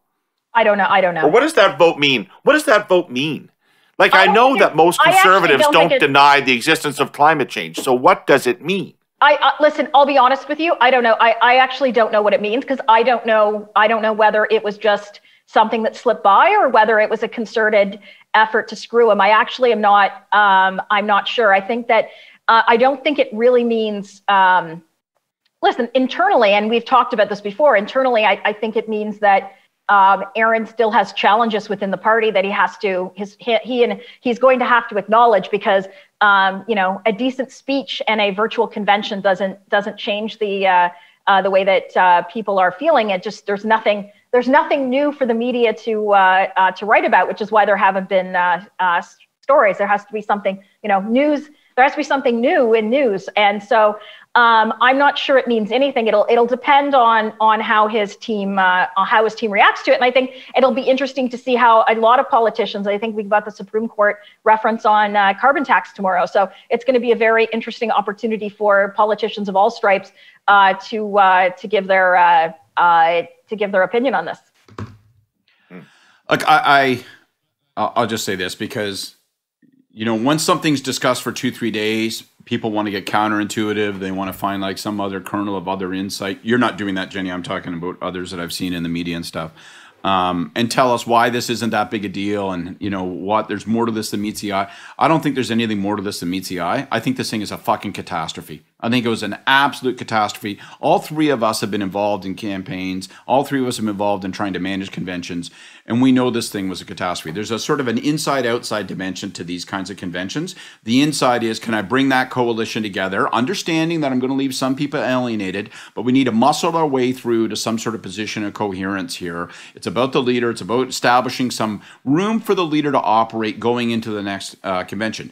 You know, we went through it uh, you know, at Hull way back, David, in like 1992 at, at the Hull Aylmer Conference, right? Um, Harper went through it in Montreal at 2005. This was supposed to be that moment for him. He told people that he was going to resolve this issue on carbon tax and climate change. He did in his speech. It had coherence. It made some sense. And then they lost the vote, and it's a fucking laughing stock issue. The coherence fall apart. So inside, that coherence isn't there. Outside, it's the number one thing that people heard about at this convention. They did not hear about his solid speech. They didn't hear about security. They didn't hear about his positioning on this issue or that. They heard about this. And it is an ad in the making, and it is a laugh line that's been thrown at him in, in Parliament. And so it is a full fledged fucking catastrophe from a political standpoint. I don't know if it's because they organized themselves to concentrate on the abortion thing. Like they might have thought they had two jobs, right? One is get that speech right, and the second is stop the abortion resolution, the pro-life stuff, and they and and they let this other thing slide. If so, well then that's damning because obviously they let something slide over the fence that could really harm them, and it did. If they organized against it and lost, well, then that tells you that internally they got more than their hands full. And it means that um, that even if they come to a showdown, they can't win it. So that doesn't bode very well. So I, inside and outside, however you measure this thing, it's a goddamn catastrophe. And O'Toole's going to tell us it doesn't matter. I'm the leader. I set the policy. Um, but it. Uh, it lacks coherence internally and externally. He lacks coherence now as a result of this. I think it's a really damning event. Well, and I, okay. I think, but, if, but, I think, if, and I'll, I'll, just end this by saying, I also think that if, if uh, the the uh, Tories, if we think that we're going to take on the Liberals in terms of uh, debating climate change uh, during the election, I think we've kind of fallen into a bit of a a bit of a trap. It's like, what is that? Yeah. Ak- Ackbar from uh, uh, Star Wars, like it's a trap, it's a trap. um, and so it's a trap. Um, he's the the lobster looking man. Um, Admiral Ackbar. So, yeah. Um, so I think it'll end up being a. I think it'll end up being a a, a, a mistake. I think that this is obviously a a, a sword issue for uh, for the liberals, and also if you look at polling numbers, and we've talked about this, uh, people's naming climate change as their as their number one issue has has dropped dramatically uh, for obvious reasons over the last kind of uh, a year and a half. And so um, we'll see. This is why I think it's. And I'll, I'll I, I sound like a broken record, and I'll, I'll. This is the last time I'll I'll say it. This is why it's very important that in the next uh, in the next in the near future that Erin O'Toole needs to flesh out uh, the subheadings of his speech and actually uh, present some solid uh, some solid policies. Dave, do you think there's a trap here for the Liberals too? Do you think there's a danger that in the zeal to um, exploit this vulnerability, they'll talk more than they should about climate change and carbon tax and see and mistake an opportunity to put one in the ribs of their opponent as an opportunity to focus overtly on the issue. Um, because I don't think they're going to get reelected on a, on a carbon tax. I think they get reelected on we've got the best plan for recovery. Uh, we've got the best plan going forward. We managed the pandemic competently, and we're going to have the best uh, plan for the recovery. And our values shape both those things. Um, and if they focus too greatly on on climate change investment and carbon tax, I think they they might miss the the plot. Oh, it's definitely a hand that can be overplayed. I mean, let me tell you the current state of public opinion on this, which is nobody knows anything about climate change policy including the carbon tax, or how it works, or how it's connected to a better outcome. People do not understand how the levers are connected to the outcomes of this stuff, uh, nor do people think they are the primary problem in the climate change. People continue to think that business is the primary problem, not individuals. And but people have clearly come to believe that this is serious enough that you can't be the government unless you are serious about it. If liberals think that that means that there has to be a carbon tax, they're wrong. They're wrong. I think Canadians would love to be persuaded that Canada could meet uh, its obligations to fight to the fight against climate change without a carbon tax. And all of the mechanics of the carbon tax, the rebate, all these things are still very poorly understood. So I think O'Toole is trying to take something that has been used as a sword against them and turn it into a sword back and not have a fight about climate change. Jenni's right. If the fight's about climate change, then the conservatives are going to lose. If the fight is about competing climate change plans and one has a carbon tax and one doesn't, that's an entirely different fight altogether. I think that uh, there's there's probably traps on here for both sides. But if liberals think the carbon tax is a settled issue that Canadians like, they're fucking wrong. Okay, that makes sense to me. So, um, so I would bank the I would bank the embarrassment of my opponent. I would make strategic use of it whenever I can to undermine him in a variety of broad ways. But I wouldn't. Uh, I wouldn't make the mistake of saying, "Let's go hard for the carbon tax guys," because uh, we smell blood. It'd be our own blood we could be sniffing. Yeah, yeah, absolutely. Now, just in fairness to O'Toole, can we spend a couple of minutes on the differences between resolutions that get approved at party conventions and the platform that the party runs on in the election. Either one of you care to give us a primer on the differences between those two things or how they are related? That's well, you, Jenni. Listen, I think that there's obviously some uh, some party uh, uh, some party policies that obviously uh, kind of you know bedrock issues like as I said supply management. I think that's why founding conventions are very important because it's not just a policy document. It's a it's a it's a kind of a vision vision uh, yeah. vision forward. But just because something's in the policy document does not mean uh, that that it's in the platform. And it's it's in any of the elections that I were, was involved in in terms of uh, you know watching and and I wasn't a policy person. I was not going to. I was not sitting around uh, uh, with the platform. I, I you know, I was the one that came in. I was one of the people that came in at the last moment when the when it was all done and go, well, that sucks, or that's really good. Change that, change this. One of those helpful helpful people uh, that came in at the end, but it, it, never once were like you know the founding principles. It, it, could be as a guideline, but but we were not just because something passes at a policy conference does not mean that um, the uh, uh, party is going to campaign on it. For sure.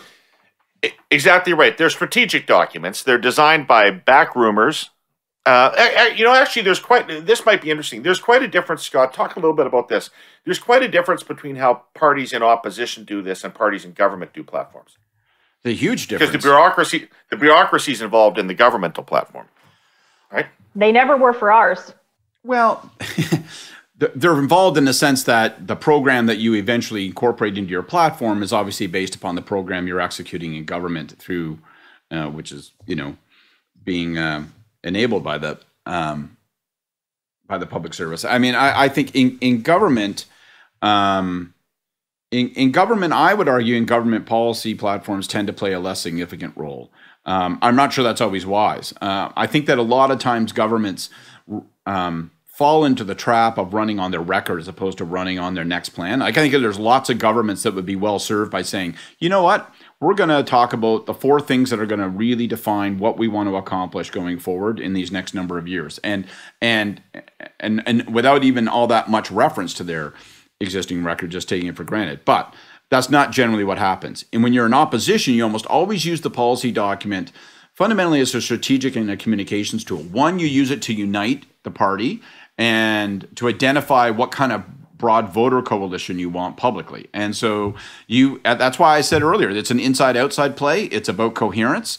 Um, it's about making sense. And so you decide what the territory is you want to fight on. Um, do you seem coherent and consistent?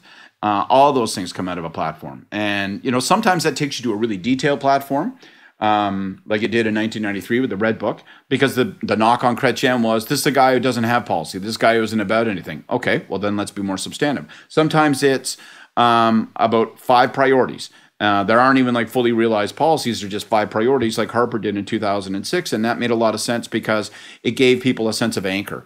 Um, and, you know, so in, in opposition, I think they're much more about defining your strategic offering and in government they're they in government they platforms tend to be less significant and um, and I think less um, uh, less utilized. Uh, I think that you know it's a I think it's a it's a, an opportunity that governments overlook when they're running for reelection.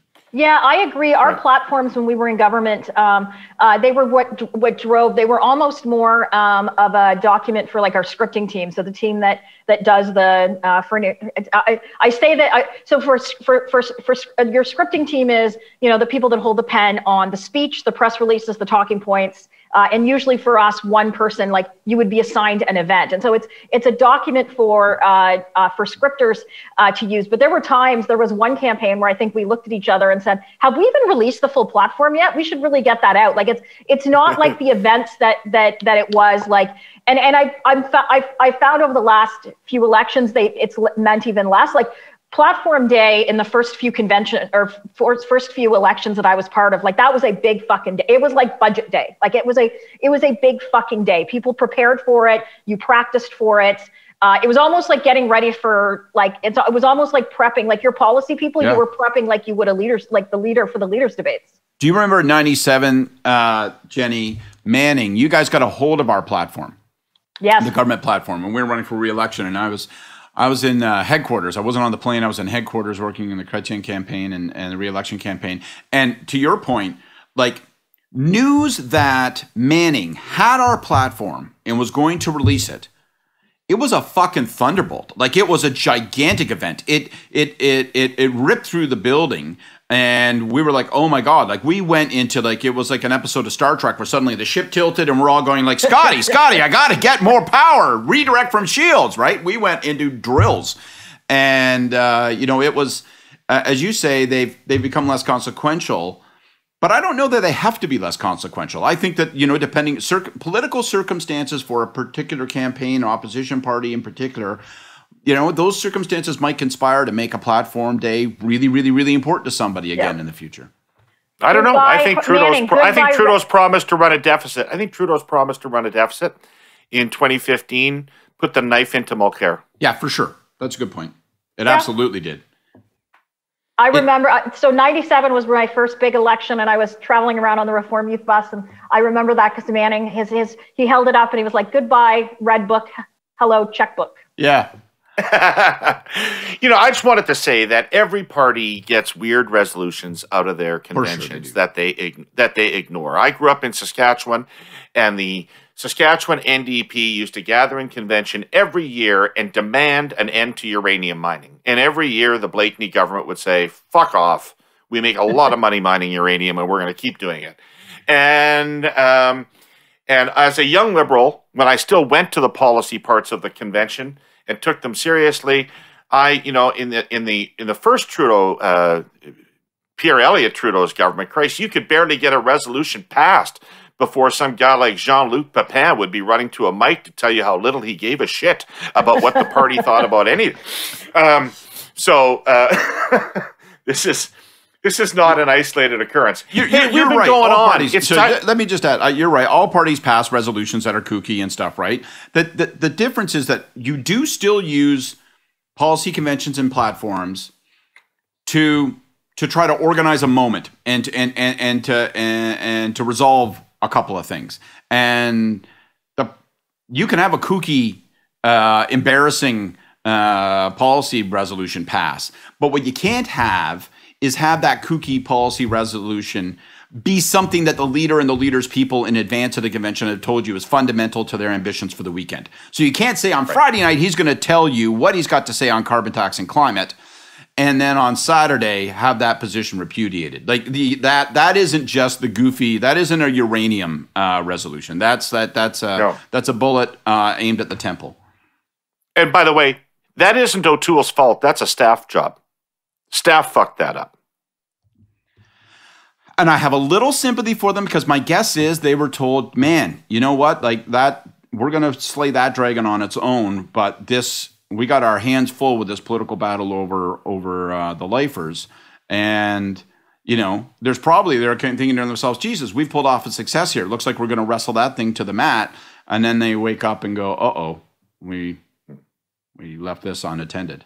That's my guess not, as to what it happened. Would, it would not have been a fun meeting. Like if I if I if it was one of those things that happened when uh, uh, uh, when I was uh, working for Harper, it wouldn't have been a fun. Like if it was virtual, it would have been that phone call where you like you call the switchboard and you're like, oh, have, don't have him answer the phone. Don't have him answer the phone. I remember those calls. Switchboard, you see that 4211 come up on the thing, you'd be like, oh, Jesus Christ, can I tell him I'm not here? He's the prime minister, but God, I don't want to answer. I don't want to answer. He's going to just Ms. take an ashtray and beat my fucking head in. Oh, I used to, be Ms. Byrne? Yes. It's the prime minister switchboard. Yes. Mm. I've got the prime minister on the phone. okay. Go, All right. Hey Jenni, you got a hey you? Oh fuck! I don't know. My hey you. I'm listen. I'm going to keep the hey you like like lighthearted, hearted, and out of politics. But my hey you is to the Montreal Canadiens. Their entire organization, from the owners to the management to the players. What the fuck is going on? I, I, I have no other like I, that is just a question I want to know. They there there seems like I know sometimes it, it, it in all facets of life when things start to go bad, it seems to be like a tumbleweed and it just keeps getting worse and worse. But I don't know like what like I don't know what the hell any of them are are doing, but uh, whatever it is, it's it's not in any way good. So my hey you is to the Habs. Please, you're killing me. Get your shit together. My hey you is a little bit more serious, although I endorse that, hey you. Um, my hey you goes out to Bill Blair, the Minister of Public Safety. We learned this past week that when the RCMP went to Colten Boushie's home to tell his mother that he had been murdered, that they accused her of being drunk, They told her to get her shit together. They searched her house. When she told them that she had been expecting Colten home and had his food in the microwave, they said, I don't believe you, and they went to check. Um, this is a race, this is a, a police force that obviously has racism deeply, deeply embedded in it. It is entirely unreasonable to ask Indigenous people to be policed by a group of people who evidently hate their guts. And so you have to make some change. And uh, the commissioner was supposed to bring change. That isn't happening. This is a morally bankrupt organization that needs to get fixed, and it's your job to fix it, Bill Blair. Wow. Okay. Well, I I actually uh, echo both those. Uh, the um, uh, the more lighthearted one of uh, Jenni's and the decidedly unlighthearted uh, "Hey You" of um, of David's. I'm going to switch back uh, to a far less serious uh, matter. My "Hey You" goes to Warner Brothers. My "Hey You" is that you know. Uh, I sat through the Snyder the the Snyder cut 2.5 times this past weekend, which is roughly 12 hours. 10 hours. And, 10 yeah, hours, right? Well, it felt like that at least. And felt like 30 hours. And here's the thing, man. Okay. The theatrical release, the Whedon cut, it sucked. It made no sense. It was so cut up and incoherent. It was terrible. And then the Snyder cut it was much better, but it was so bloated and big. Why can't you people? Why can't you people take an edit suite and build a 2.5 hour film that's perfect? I don't understand. You've got Superman, you got Batman, you got Wonder Woman, you got The Flash. The Flash is my favorite character of all time, you fucking dolts. You could have built a great movie. Instead, you gave us two inadequate movies, and you spent an extra $30 million to give us the shittier, inadequate movie, and now you say we can't even have more of that inadequate movie that's nevertheless better. I just don't understand who's in charge of Warner Brothers. I'd I know they've fired multiple people. I'd fire them over and over and over again until they can give us a good set of DC superhero movies. This is not entirely related uh, to the conservative policy convention, but the parallels, I think, are obvious. Scott, A, I don't care a whit about that. And second of all, second, although WandaVision was good, thank you for the heads up on fantastic. WandaVision. Right? It was very good. But um, took me to the third episode to dig it. But um, the um, but what you just said, do you really require this platform to make that point? Isn't that something that you could have put out a cranky tweet about, or maybe a direct email to Warner Brothers? Like, do you think they're listening? And like, what is, who are you talking to? David, let me tell you a little something. Let, let me just uh, teach you for a moment about um, communications. All right.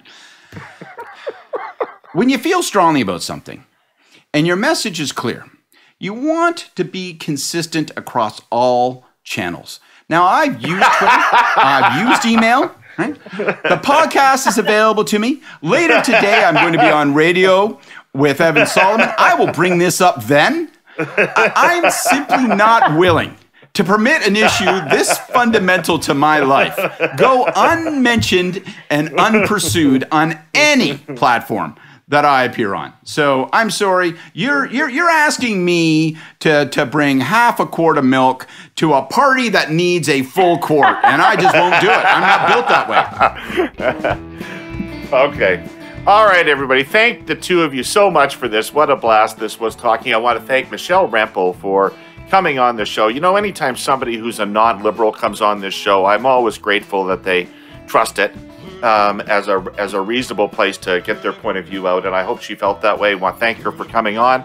Thank the Air Quotes Media team and Metal Donkers Good for the production of this. Thank you all for listening. Thank you, TELUS, our presenting sponsor, CN and MDA, our additional sponsors for today's program, and Ray Martini, take us out with the Herle Burly theme song. Burly.